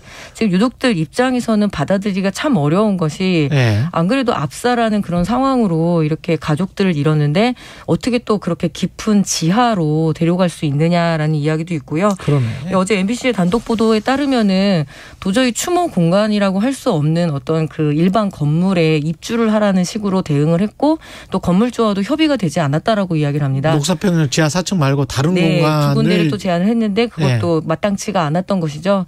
그래서 유가족들과 지금 계속 충돌 양상인데 어떻게 좀 해결할 방법이 없을지 예, 음. 이것도 굉장히 좀 우려스럽네요. 정부가 어떻게 해줄 수는 없을까요? 중재를 한다든지. 아, 지금 중재는커녕 사실 네. 이 2차 가해 문제를 좀 정부가 적극적으로 나서서 막아줬어야 되는데 네. 예, 이 2차 구 2차 가해 문제 즉 시민 분향소 주변에 그리고 이제 관련 추모제 집회 때마다 보수 단체들에서 신자유연대. 네, 신자유연대 보수 단체에서 어떤 그 집회를 방해하거나 그리고 어떤 현수막을 개첩해서 유가족들에게 상당한 상처를 주었거든요. 그래서 네. 이렇게 하지 말게 좀 가처분 신청을 한 상태인데 법원에. 예, 어제 재판부에서 기각 판정이 나왔습니다. 음. 어, 재판부의 입장에서 보게 되면 광장의 특성에서 보면 집회와 분향소 설치는 이 유가족 협의회의 추모 감정, 추모 감정이다. 예, 이것보다 뭐 인, 이것이 신자유전 신자유연대 집회의 자유보다 절대적으로 우위에 있을 수는 없다라고 하면서 좀 차갑게 법리적 해석을 내렸는데요. 예, 절대적 우위에 있어야 추모 감정이 예. 집회의 자유보다 절대적 우위에 있어야 이거를 기각 할 수 있다. 네. 허용할 수 있다. 네, 그래서 예. 유가족들은 즉각 항고하겠다고 하면서 국가가 2차 가해를 허용한 것 아니냐라고 하면서 굉장히 큰 실망과 분노를 지금 이렇게 어, 표현하고 있는데요. 아이고 적어도 이 장례식장에서 좀 예를 갖추는 것이 중요하잖아요. 그렇죠. 어느 순간 좀 선을 넘었다라는 생각이 듭니다. 뭐 그러니까 삼가 뭐 고인의 명복을 빕니다 해서 이 삼가라는 의미가 조심스럽고 그렇죠. 굉장히 정중하게 예를 갖춘다라는 뜻이고 보통 이렇게 문상을 가게 되면 드릴 말씀이 없습니다라고 이야기를 그렇죠. 하는데요. 예, 어떤 재판정의 차가운 법리적 해석이 인간의 도리를 넘어설 수는 없는 거 아닐까 이런 생각이 드네요. 신자유 연대가 좀 그만하세요. 네. 정말 왜 그러십니까? 이건 정치적인 것도 아니고 뭣도 아니고 그냥 그만하셨으면 좋겠어요. 예? 가족들을 잃은 예. 그 유가족들에게 너무나 큰 상처가 왜 그러세요? 예. 네. 그거 아, 그렇게 하면 뭐가 지금 윤석열 정부에도 도움이 안 돼요. 정말 윤석열 정부를 지지하고 응원한다면 윤석열 정부에 오히려 이미지가 해가 돼요. 그러니까 제발 좀 그만하십시오. 이거는 가족들만 유가족들만 아프게 하는 게 아니고 그러면 도움 안 됩니다. 정말. 예. 예, 여기까지 하겠습니다. 한 번 더 뉴스 정은정 작가였습니다. 고맙습니다. 네, 감사합니다. 네.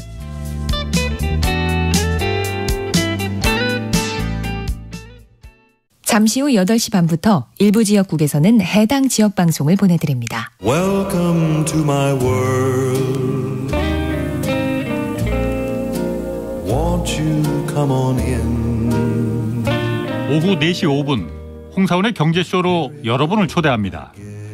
50분간 딱 한 가지 주제만 깊이 있게 전해드립니다.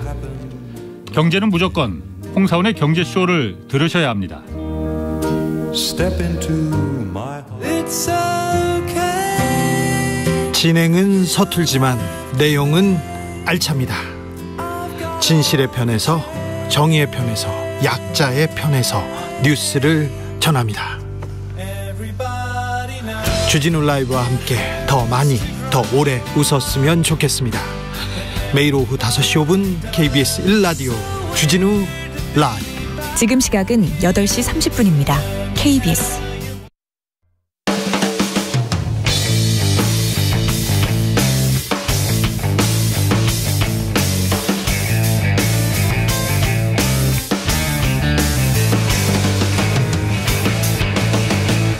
최경영의 최강 시사.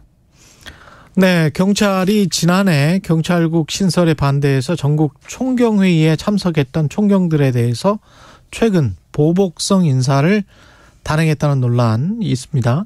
전국 총경회의를 그때 당시에 주도했던 류삼영 총경 어제 반발해서 기자회견도 열었는데요. 직접 이야기 들어보겠습니다. 안녕하십니까? 안녕하십니까? 예. 지금 상황이 이게 좀 이례적인 인사였습니까? 총경 보직 인사가? 그렇습니다. 예. 총경 보직은 그동안의 관행이나 이런 게 합리적인 것을 바탕으로 그 사람이 어떻게 하면 일을 잘할 수 있게 이렇게 배치를 할 것인가에 관점이 주어져서 예. 그 사람이 이제 얼마나 경, 총경이 된지 얼마 됐는지 서장을 경험했는지 이런 것에 대해서 모든 걸 고려해서 합리적으로 해야 되는데 이번에 진행된 인사는 그 합리성을 완전히 결여하고 음. 지난번 경찰국 경찰국에 반대하는 경찰서장 회의 참석자 전원 그러니까 진, 어, 불이익한 인사를 줄 수 있는 여건이 되는 모든 사람에 대해서 다 예, 문책성 인사를 단행한 겁니다. 그 인사 시즌이 돌아온 사람들 중에서 지난번에 총경회의에 참석한 사람들은 전원이 어떤 보복성 인사를 당한 거예요? 예, 그거에다가 예. 인사 시기가 안 됐는데 인사 시기가 안 됐는데 인사가 경찰 인사가 1년 단위로 이루어지는데 그렇죠. 예. 6개월 6개월 정도밖에 안 됐는데 6개월 보직 경찰서장을 하고 있던 사람을 다른 시도의 교육기관의 과장으로 보내는 등 아. 이해- 이해할 수 없는 부분이 여러 군데에서 발견이 됩니다. 근데 이게 결 뭐 뭐라고 합니까? 행안부나 아니면 경찰청에서는 경, 이거 행안부 인사가 아니고 이거는 경찰청장의 경찰청. 인사기 때문에 예. 경찰의 경찰청의 입장은 여러 가지를 합리적으로 고려했다고 말씀을 하시죠. 아, 여러 가지 합리적으로 고려했다. 그런데 총경님이 보시기에는 보복이자 경찰 길들이기다. 네, 맞습니다. 어떤 이유에서 구체적으로 말씀해 주십시오. 그러니까 저 아까 말씀드렸다시피 인사 시즌이 돌아오지 않은 인사 대상자도 아닌 사람에 대해서도 예. 그 불이익한 인사 처분을 했고 또 총경급이고 서장을 경험한 사람에 대해서는 그게 걸맞는 직책이 있습니다. 우리 전통이 근데 승진 후보자는 아직 경정이고 뭐 법적으로 이제 총경 승진이 안 된 사람 밑에다가 이제 그동안 총경을 음. 오랫동안 경험한 사람을 그 밑에다 계장급에다가 발령을 낸 거죠. 예. 그거는 누가 봐도 이해할 수 없는 인사입니다. 근데 경찰청장이 아까 하셨다고 했다고 말씀을 하셨는데 형식적으로는 그렇지만 위에 어떤 의중이 반영됐다 이렇게 볼 수도 있을까요? 그러니까 경찰청장도 경찰 생활을 30년 이상 하시- 했고 예. 자기도 인사 대상이었는데 음. 자기는 이런 인사를 경험해보지 못했을 거거든요. 예. 그런데 경찰로서는 이- 이런 인사를 할 수가 없다고 판단하기 때문에 음. 이 인사가 법적으로는 경찰청장의 권한이고 경찰청장 명의로 난 인사 발령이지만 예. 우리 경찰 내부에서 볼 때는 이거는 경찰이 아닌 사람이었을 가능성이 상당히 있다는 거죠. 아, 이게 저 발령 난 곳에 112 상황실 상황팀장 그러니까 경찰서장 하던 사람들이 이쪽으로 발령이 많이 났던데요. 예. 이게 23명이 났습니다. 23명이 예. 이게 새로 신설된 보직인가요? 그러니까 그 뭐- 자리는 있었고 예. 그 보직을 이제 경정급들이 아. 다 했습니다. 총경 밑에 그 경정이 했군요. 예, 저도 상황 관리관 아, 상황 실장을 했는데 예. 저는 총경이었고 음. 제하고 같이 근무한 그 네 명의 상황 팀장들이 경정급으로 해서 로테이션 근무를 했습니다. 주야 예. 로테이션 근무를 했죠. 강등 당한 거네요. 일종의 사실상 사실상 볼 수 있는 겁니다. 그러니까 경찰 직장 협의회 연합회도 지역 단위에서 성명서를 냈던데 비판한 성명서를 경찰 내부 분위기는 어떻습니까? 이거 부글부글 끓고 있는 상황입니다. 음.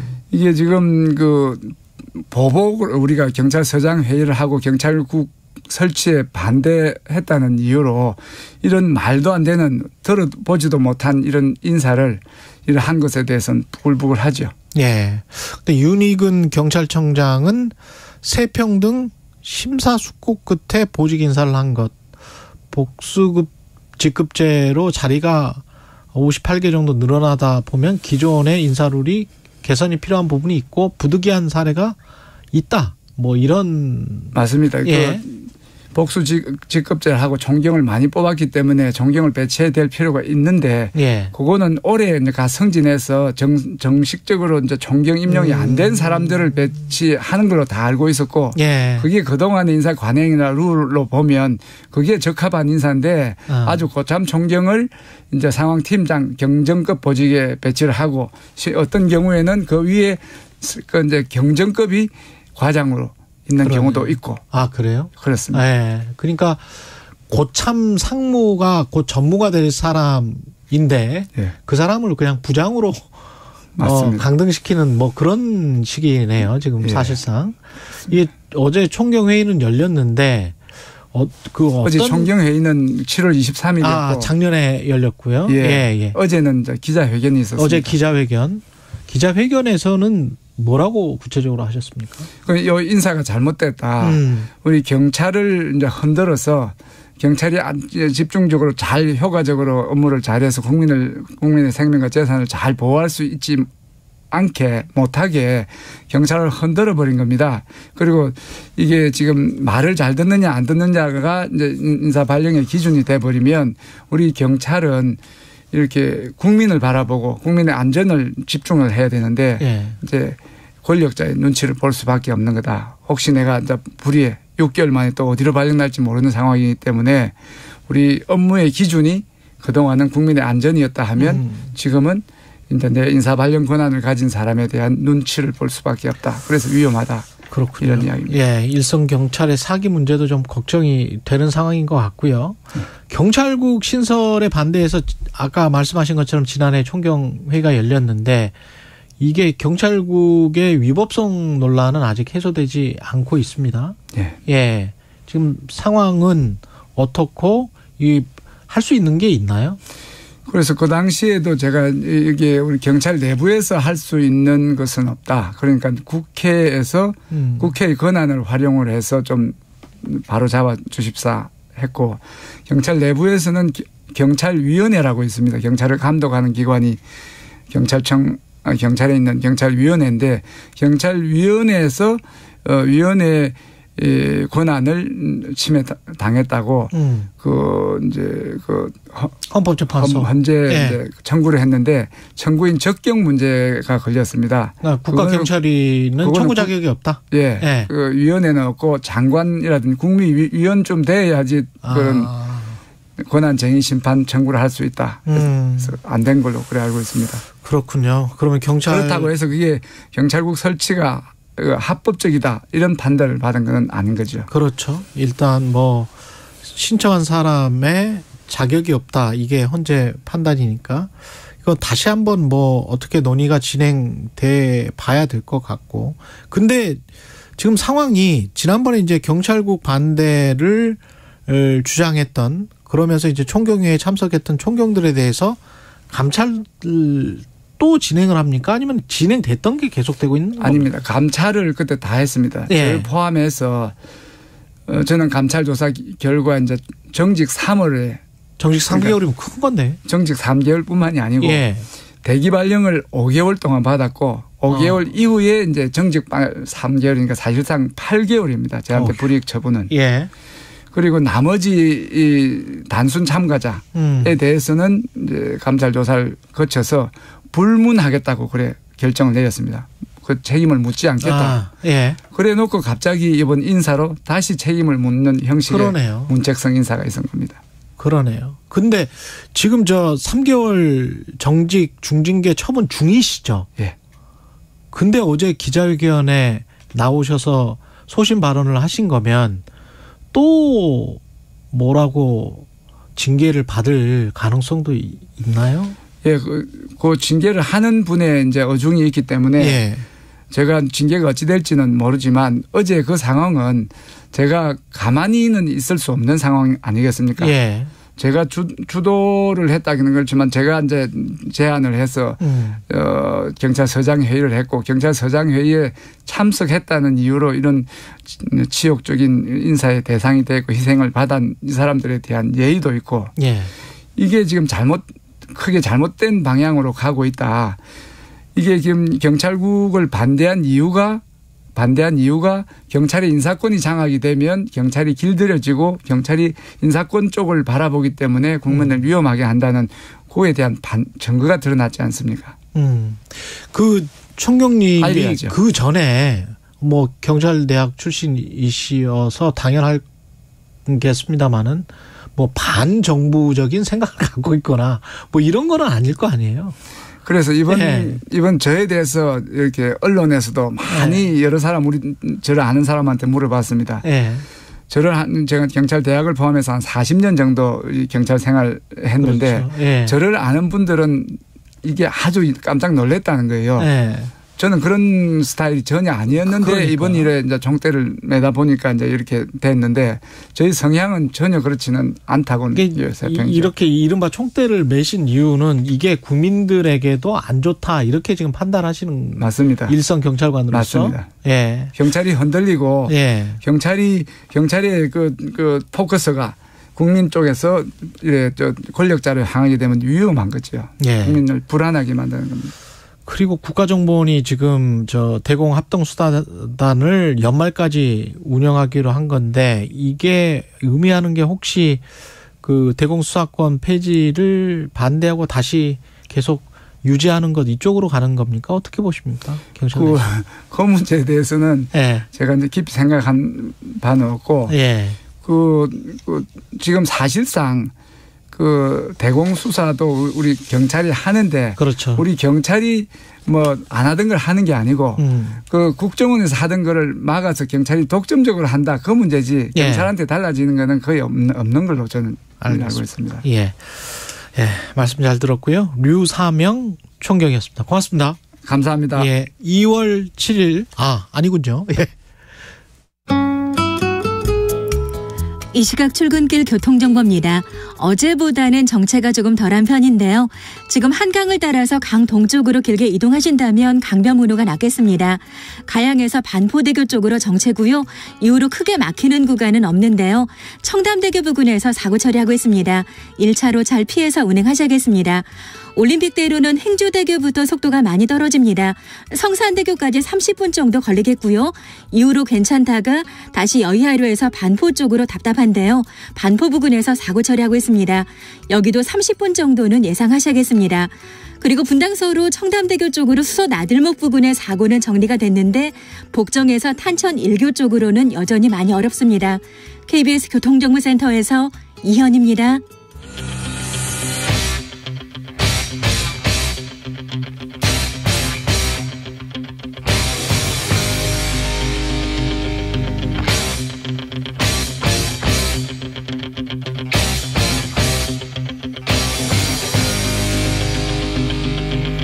네, 답답한 정치 이슈를 팍팍 때려보는 시간 정치 펀치 김재원 국민의힘 전 최고위원 나오셨습니다. 안녕하십니까? 안녕하세요. 예. 최고위원 컷오프 서류정 통과는 뭐 당연히 통과해야죠. 최고 예, 전 최고위원이신데. 예. 아니 그보다 이제 뭐 무슨 저 범죄 경력이라든가 아, 그런 거 조회하는 거예요? 아니 이제 그 그런 경우라든가 아니면 네. 또는 뭐 이제 당의 그, 그 이념과 정, 정강 정책 또는 이제 아. 예, 당의 그 지도부 적합성 뭐 이런 것을 보고 네. 한 건데 저는 뭐 그거 떨어지면 집에 가야죠. 아니 근데 이제 집에 가시는 분들 중에 어 이른바 어 땡땡 유튜버들이 많으신데 네. 그거는 그 뭐 상식적인 판단이었다고 보십니까? 글쎄 사실 그분들도 우리 저 보수 진영의 소중한 자산인데 네. 뭐 개인적으로는 좀 좀 아깝게 생각합니다. 왜냐하면 음. 그분들도 함께 결어서 음. 이제 그 유권자인 당원들이 심판하게 만드는 것이 맞지 않았는가 생각하거든요. 뭐 강신업 변호사는 굉장히 본인의 SNS에 강하게 강하게 반발하던데. 그분은 뭐 유튜버라기보다는 네. 좀좀 다른 쪽의 그 다른 영역 예 영역이고 네. 뭐저 우리 이 당을 향해서 음. 한마디로 뭐 같은 예. 음, 당이라는 아주 비속어를 썼던데요. 예. 제가 그걸 보면서 아 그래도 또 어, 나름대로 네. 선관위가 제대로 걸러내긴 했구나 하는 생각을 했습니다. 그 이후의 행동을 보니 네, 예. 아이고, 큰일 날 뻔했죠. 지금 저 최고위원 출마를 하셨는데 허은하, 김용태, 아 이른바 비윤계 이쪽 후보들이 만약에 선전을 한다면 의원님 포션이 약간 좀 줄어드는 거 아니 아니에요? 뭐 당연하죠 경쟁이니까 예. 예. 그래서 뭐 그런 것도 감수를 해야죠. 뭐 예. 그것도 이제 당원들의 선택이니까요. 네. 예, 그리고 사실은 이제 그 마치 패싸움 하듯이 지금 음. 저 선거를 하고 있어서 이것이 사실 이것이 이제 저 항상 선거가 끝나고 나면 또 다른 어 작용이 남잖아요. 예. 근데 이제 제가 이 우리 국민의힘의 전신인 한나라당에 입당을 해서 음. 지금까지 20년째 어그 당에 머물고 당비를 내고 계신 예, 활동을 하고 있는데 사실 이 전당대회 이런 일은 처음 보기 때문에 좀 음. 걱정스럽습니다.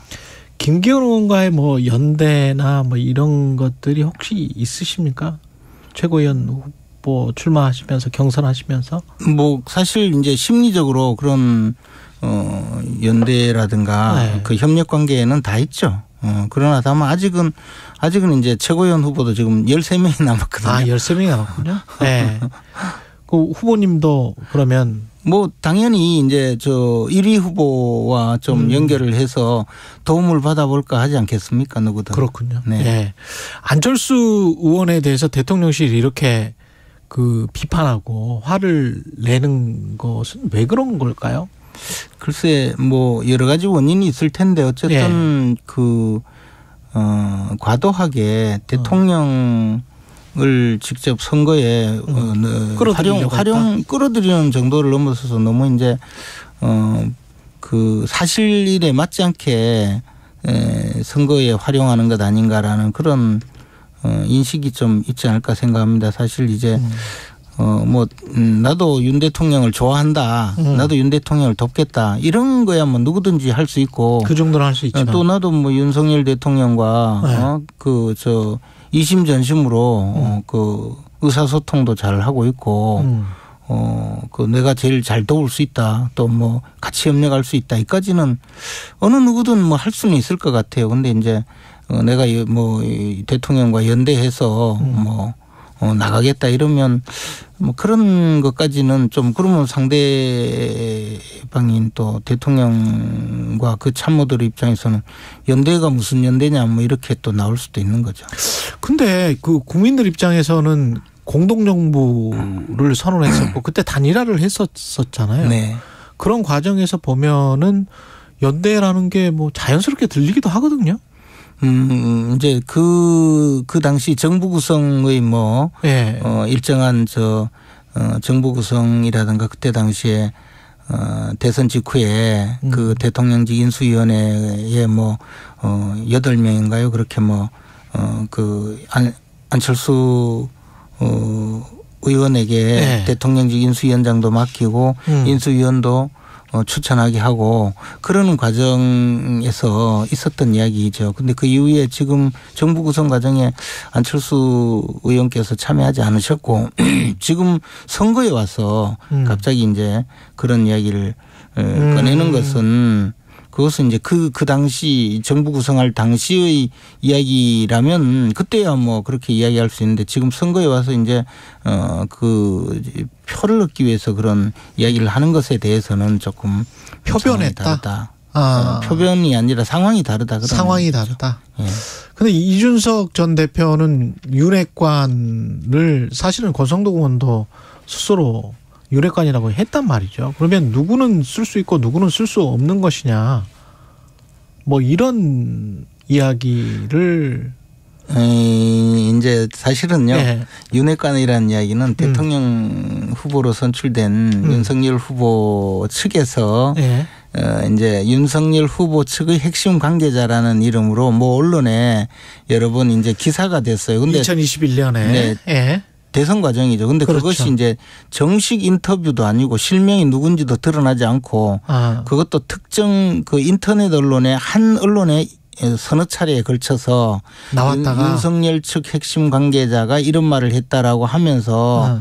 어 사실 그거는 출처가 좀 애매한 그런 기사였죠. 네. 근데 그것에 대해서 이제 이준석 대표가 어 그 저 인터뷰 한 자가 누구냐 밝혀라 윤핵관이 누구냐 하고 밝혀라 하면서 음. 이제 결국은 이제 윤석열 후보 측의 참모를 공격하면서 시작된 거거든요. 예. 어, 그래서 윤핵관이라는 말은 그때부터 윤석열 이준석 전 대표가 어 윤석열 후보의 참모를 공격하는 대명사 비슷하게 사용을 했고 음. 그것이 이제 시간이 지나면서 어, 권성동 의원이나 일부 이제 대통령의 에, 대통령과 가까운 의원들 몇 명을 아주 그 비하하는 표현으로 사용을 한 것이 맞거든요. 그런데 이제 권성동 의원 입장에서는 예.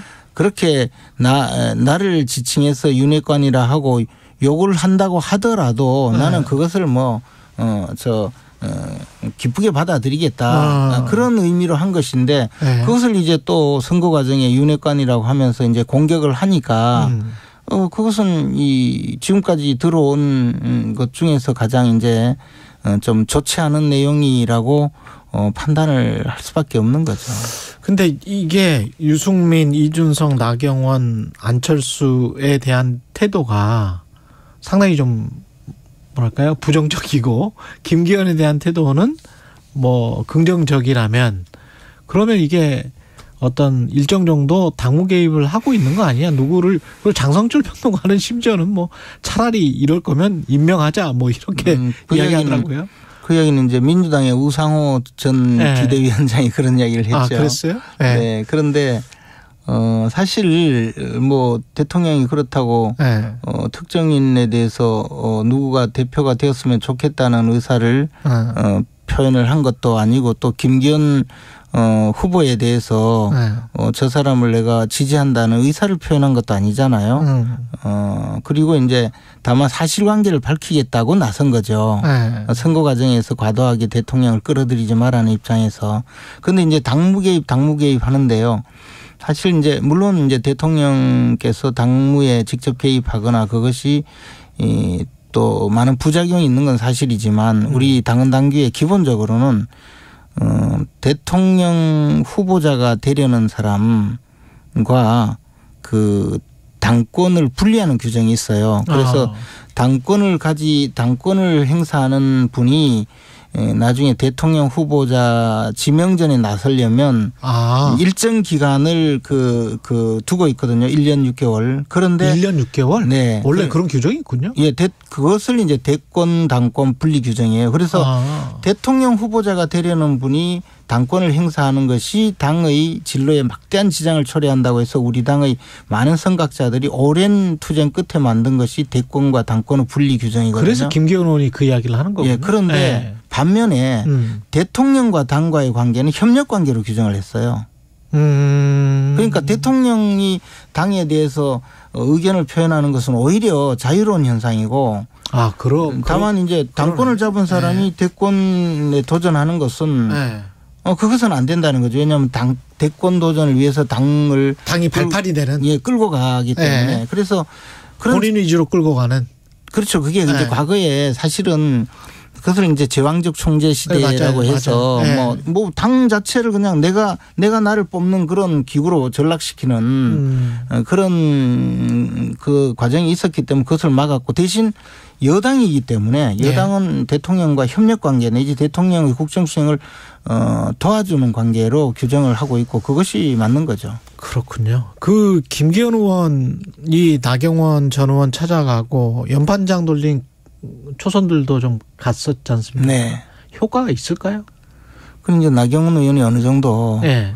어, 마음을 또 풀고 협조 협력하느냐의 어, 문제일 건데요. 저는 뭐 나경원 의원이 음, 그 어, 나름대로 어, 정치적으로든 또는 당의 전반적인 상황을 고려해서 저 좀 잘 적절하게 어, 판단하지 않을까 생각을 하고요. 음.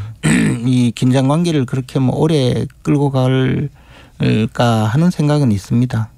긴장 관계. 예. 그러니까 이제 지금은 조금 뭐 그래도 의원들이 찾아가서 좀 미안하다는 말을 음. 해야 되는 정도의 긴장 관계인데 뭐 예. 그런 관계를 계속 유지하기를 원하지는 않을 거라고 생각합니다. 그렇겠죠. 천하람 후보는 이게 다코스라고 언론에서 좀 주목을 받고 있는 것 같은데 어떤 변수가 되겠습니까? 어, 당연히 변수가, 변수가 되겠죠. 됩니까? 특히 네. 이제 어 지금 음, 대표 후보 컷오프가 4 명인데 음.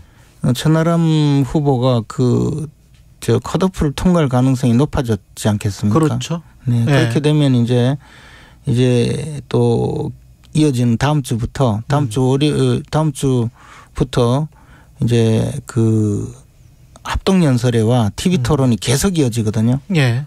그러면 그, 그 마이크를 이용해서 얼마나 많은 또. 근데 포지션이 참 공격이. 난처할 것 같아요. 안철수 후보 같은 경우는 그렇게 이제 대통령의 적대적이거나 비판적이지는 않은 것 같고. 그렇죠. 천하람 힘을 후보는- 주겠다고 하는 분이. 예, 천하람 후보는 윤핵관들에 관해서는 상당히 비판적인 것 같고. 네. 네. 그렇게 보면 어떻게 될지 모르겠네.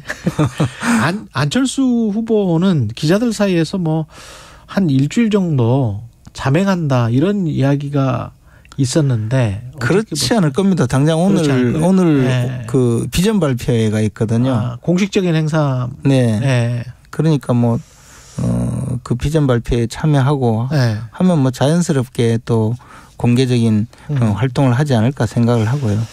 어, 그것이 에, 지금 이어지는 저 그 스케줄이거든요. 예. 그렇기 때문에 뭐 저 소위 자명이라는 것이 예. 이렇게 오래 갈 상황은 아니라고 봅니다. 10초, 20초밖에 안 남았는데 결국 김기현 안철수가 됩니까? 결선은? 야, 결국은 양자 대결 구도로 결국은. 양자 네, 대결이다. 지금 뭐 모든 상황이 그렇게 가고 있는 것 같습니다. 알겠습니다. 정치펀치 김재원 전 국민의힘 최고위원이었습니다. 고맙습니다.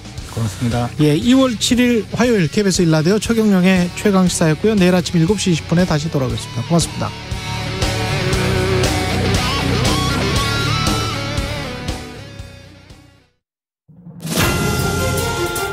세계보건기구 WHO가 1급 발암물질로 지정한 미세먼지. 특히 초미세먼지는